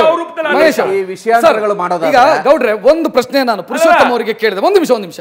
ಮಹಿಷ ಬೌದ್ಧ ಧರ್ಮದ ಪ್ರಚಾರಕನಾಗಿದ್ದಂತ ರಾಜನಾಗಿದ್ರೆ ಇಲ್ಲಿ ಬೌದ್ಧ ಧರ್ಮದ ಕುರುಹುಗಳು ದೊಡ್ಡ ಮಟ್ಟದಲ್ಲಿ ಇರಬೇಕಿತ್ತು ಮಹಿಷಾ ಮಂಡಲದಲ್ಲಿ. ಎಲ್ಲಿದೆ? ಇದಾವೆ, ಇದಾವೆ, ಇಲ್ಲಿ ಬೌದ್ಧರು ಇರಬೇಕಿತ್ತಲ್ಲ. ಬೌದ್ಧ ಕಮ್ಯುನಿಟಿ ಎಲ್ಲಿದಾವೆ? ಸ್ವಲ್ಪ ಕೇಳಿ ಮಧ್ಯದಲ್ಲಿ ಇಂಟರ್ಪ್ರಿಟ್ ಮಾಡಿದ್ರೆ ಅಲ್ಲ ಡಿಸ್ಟರ್ಬ್ ಮಾಡಿದ್ರೆ ಹೇಳೋಕ್ಕಾಗಲ್ಲ. ಬೌದ್ಧ ಧರ್ಮ ದಕ್ಷಿಣ ಭಾರತದಲ್ಲಿ ವಿಶೇಷವಾಗಿ ಮೈಸೂರು ಹತ್ರ ಇತ್ತು ಅನ್ನೋದಕ್ಕೆ ನಮಗೆ ನಾಲ್ಕನೇ ಶತಮಾನದಲ್ಲಿ ದಾಖಲೆಗಳು ಸಿಗ್ತವೆ. ತಲಕಾಡು ಗಂಗರ ಕಾಲಘಟ್ಟದಲ್ಲಿ ಹರಿವರ್ಮನ ಅರಮನೆಗೆ ಬಂದು ಕೋಟೆಗೆ ಅಥವಾ ಬಾಗಲತ್ರ ಹತ್ರ ಬಂದು ಒಬ್ಬ ಬೌದ್ಧ ವಿದ್ವಾಂಸ ಒಂದು ಆಹ್ವಾನಕ್ಕೆ ಒಂದು ಚೀಟಿಯನ್ನು ಅಂಟಿಸ್ ಚೀಟಿ ಅಂದರೆ ಈ ಥರ ಪೇಪರ್ ಅಂತ ಅಲ್ಲ ಅದೊಂದು ತಾಳೆಗರಿನೋ ಮತ್ತೊಂದು ಚರ್ಚೆಗೆ ಆಹ್ವಾನ ಮಾಡೋದ ಆಗ ಹರಿವರು ನಿಮಿಷ ನಿಮಿಷ ಇರಿ ಸರ್. ಕನ್ಫ್ಯೂಸ್ ಆಗಬಾರ್ದು ಅಂತಂದ್ರೆ ಅಲ್ಲ ನೀವು- ಒಬ್ಬ ರಾಜನ ಕಾಲದಲ್ಲಿ ಗೊತ್ತಿದೆ. ಅಲ್ಲ ಸರ್. ಆ ರಾಜನ ಧರ್ಮವನ್ನು ಅಪ್ಪಿಕೊಳ್ತಾರೆ. ಇಲ್ಲಿ ದೊಡ್ಡ ಮಟ್ಟದಲ್ಲಿ ಮತಾಂತರ ಆಗಿರ್ಬೇಕು. ನನಗೆ ಉತ್ತರ ನನಗೆ ಆ ಮಾತಾಡಕ್ಕೆ ಅವಕಾಶ ಅಲ್ಲ, ಇಲ್ಲಿ ದೊಡ್ಡ ಮಟ್ಟದಲ್ಲಿ ಮತಾಂತರ ಆಗಿರಬೇಕು. ಅವ್ರು ಮರು ಮತಾಂತರ ಆದ್ರೆ. ಇಲ್ಲಿ ಹೇಳಿ ಸರ್ ನನ್ಗೆ ಬೌದ್ಧ ಧರ್ಮಕ್ಕೆ ಮತಾಂತರ ಆದವರು ಮರು ಮತಾಂತರ ಆದ್ರೆ ನೀವು ನನ್ನ ನನಗೆ ಉತ್ತರನೇ ಕೊಡ್ತಾ ಇಲ್ಲ. ಮಧ್ಯ ಮಧ್ಯದಲ್ಲಿ ಡಿಸ್ಟರ್ಬ್ ಮಾಡ್ತೀರಾ? ಏನಾದ್ರು ಅಂತ. ನೀವು ಕೇಳಿದ್ದೇನೋ? ಬೌದ್ಧರು ಇಲ್ಲಿ. ಇಲ್ಲಿದ್ರು ಅನ್ನೋದಕ್ಕೆ ಏನಿದೆ ಅಂತ ನೀವು ಕೇಳ್ತೀರಾ? ನಾನು ಹೇಳ್ತಾ ಇರೋದು ದಾಖಲೆಗಳು ನಾಲ್ಕನೇ ಶತಮಾನದಿಂದ ಸಿಗ್ತಾ ಇದೆ. ಅದ್ರಲ್ಲಿ ಒಬ್ಬ ಇದ್ದ ವಾದಿಮದ ಗಜೇಂದ್ರ ಅಂತೇಳಿ, ಅವನು ಬಂದ್ಬಿಟ್ಟು ಸವಾಲಾಗ್ದ ಆಗ ತಲಕಾಡು ಗಂಗರ ಹರಿವರ್ಮನ ಆಸ್ಥಾನದಲ್ಲಿದ್ದಂಥ ಮಾಧವ ಭಟ್ಟ ಅನ್ನೋನು, ಅವನನ್ನು ವಾದದಲ್ಲಿ ಸೋಲಿಸ್ದ. ಸೋಲಿಸಿದ ಮೇಲೆ ಇವನಿಗೆ ವಾದಿಬ ಸಿಂಹ ಅಂತೇಳಿ ಇವನಿಗೆ ಹೆಸರನ್ನು ಕೊಟ್ಟರು ಅಂತೇಳಿ ಒಂದು ದಾಖಲೆ ಸಿಗುತ್ತೆ, ಅಂದರೆ ನಾಲ್ಕನೇ ಶತಮಾನ. ಅಲ್ಲಿಂದ ಏಳ್ನೂರು ವರ್ಷದ ಹಿಂದಕ್ಕೆ ಹೋದರೆ ಕ್ರಿಸ್ತಪೂರ್ವ ಮೂರು ಮಹಿಷ ಇದ್ದ ಅಂತ ಒಂದು ಕಲ್ಪನೆನೋ ಅಥವಾ ಒಂದು ದಾಖಲೆನೋ ಒಂದು ಹೇಳುತ್ತೆ. ಅಂದರೆ ಆ ಏಳ್ನೂರು ವರ್ಷಗಳ ಘಟ್ಟದಲ್ಲಿ, ಕಾಲಘಟ್ಟದಲ್ಲಿ ಬೌದ್ಧ ಧರ್ಮೀಯರು ಇಲ್ಲಿದ್ದರು ಬಟ್ ಅವ್ರು ಏನಾದ್ರು? ಏನಾದ್ರು ಅಂದ್ರೆ ಆ ಅಲ್ಲಿ ಈಗ ಪುರುಷೋತ್ತಮ್ ಪ್ರಕಾರ ಹೇಳೋದಾದ್ರೆ ಇವ್ರು ಯಾಕೆ ಪದೇ ಪದೇ ಮಾಡ್ತಾರೆ ನನಗೆ ಗೊತ್ತಾಗಲ್ಲ. ಅಲ್ಲಲ್ಲ ನಾನು ಅಲ್ಲಲ್ಲ ನನಗೆ ಸರ್. ಕರೆದ ಮೇಲೆ ನೀವು ಅವ್ರದ್ದು ಅವ್ರ್ದು- ಈ ರೀತಿ ಇತ್ತು ಅಂದ್ರೆ ಬಹಳ ತಪ್ಪಾಗ್ಬಿಡುತ್ತೆ. ಅಲ್ಲ ಏನಾದ್ರು ಅಂತ. ಏನಾದ್ರು ಅಂದ್ರೆ ಇಲ್ಲಿ ಏನಾಗಿದೆ ಬೌದ್ಧರನ್ನೆಲ್ಲ ಇನ್ನೊಂದು ಕಾಲಘಟ್ಟದಲ್ಲಿ ಇನ್ನೊಂದು ಧರ್ಮೀಯರು ಮರು ನಾಶ ಮಾಡಿದ್ರು ಮರುಮತಾಂತರ ಮರು ಮತಾಂತರ ಮರು ಮತಾಂತರ ಆಗಿರ್ತಾರೆ ಅಥವಾ ಇನ್ನೊಂದು ಧರ್ಮವನ್ನು ಅಪ್ಕೊಂಡಿರ್ತಾರೆ ಗೊತ್ತಾಯ್ತಾ? ಮತ್ತೆ ಕಾಲಘಟ್ಟದಲ್ಲಿ ಈ ಧರ್ಮಗಳು ಒಂದಾದ್ಮೇಲೆ ಒಂದು ಬರ್ತಾ ಇರುತ್ತೆ. ಈಗ ತಲಕಾಡು ಗಂಗರ ಇತಿಹಾಸವನ್ನು ತಗೊಂಡ್ರೆ ಅವರು ಜೈನರಾಗಿದ್ರು ಅಂತಾರೆ. ಹಾಗಿದ್ರು ಬೌದ್ಧರು ಏನಾಗಿದ್ರು? ಹಿಂದೂಗಳು ಏನಾಗಿದ್ರು? ಪ್ರಶ್ನೆ ಬರುತ್ತೆ. ಸೊ ಕಾಲಘಟ್ಟಗಳಲ್ಲಿ ಬದಲಾವಣೆಗಳು ಆಗ್ತಾ ಇರುತ್ತೆ.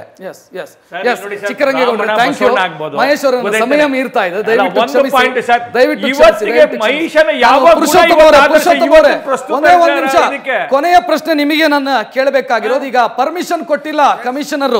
ಏನ್ ಮಾಡ್ತೀರಿ?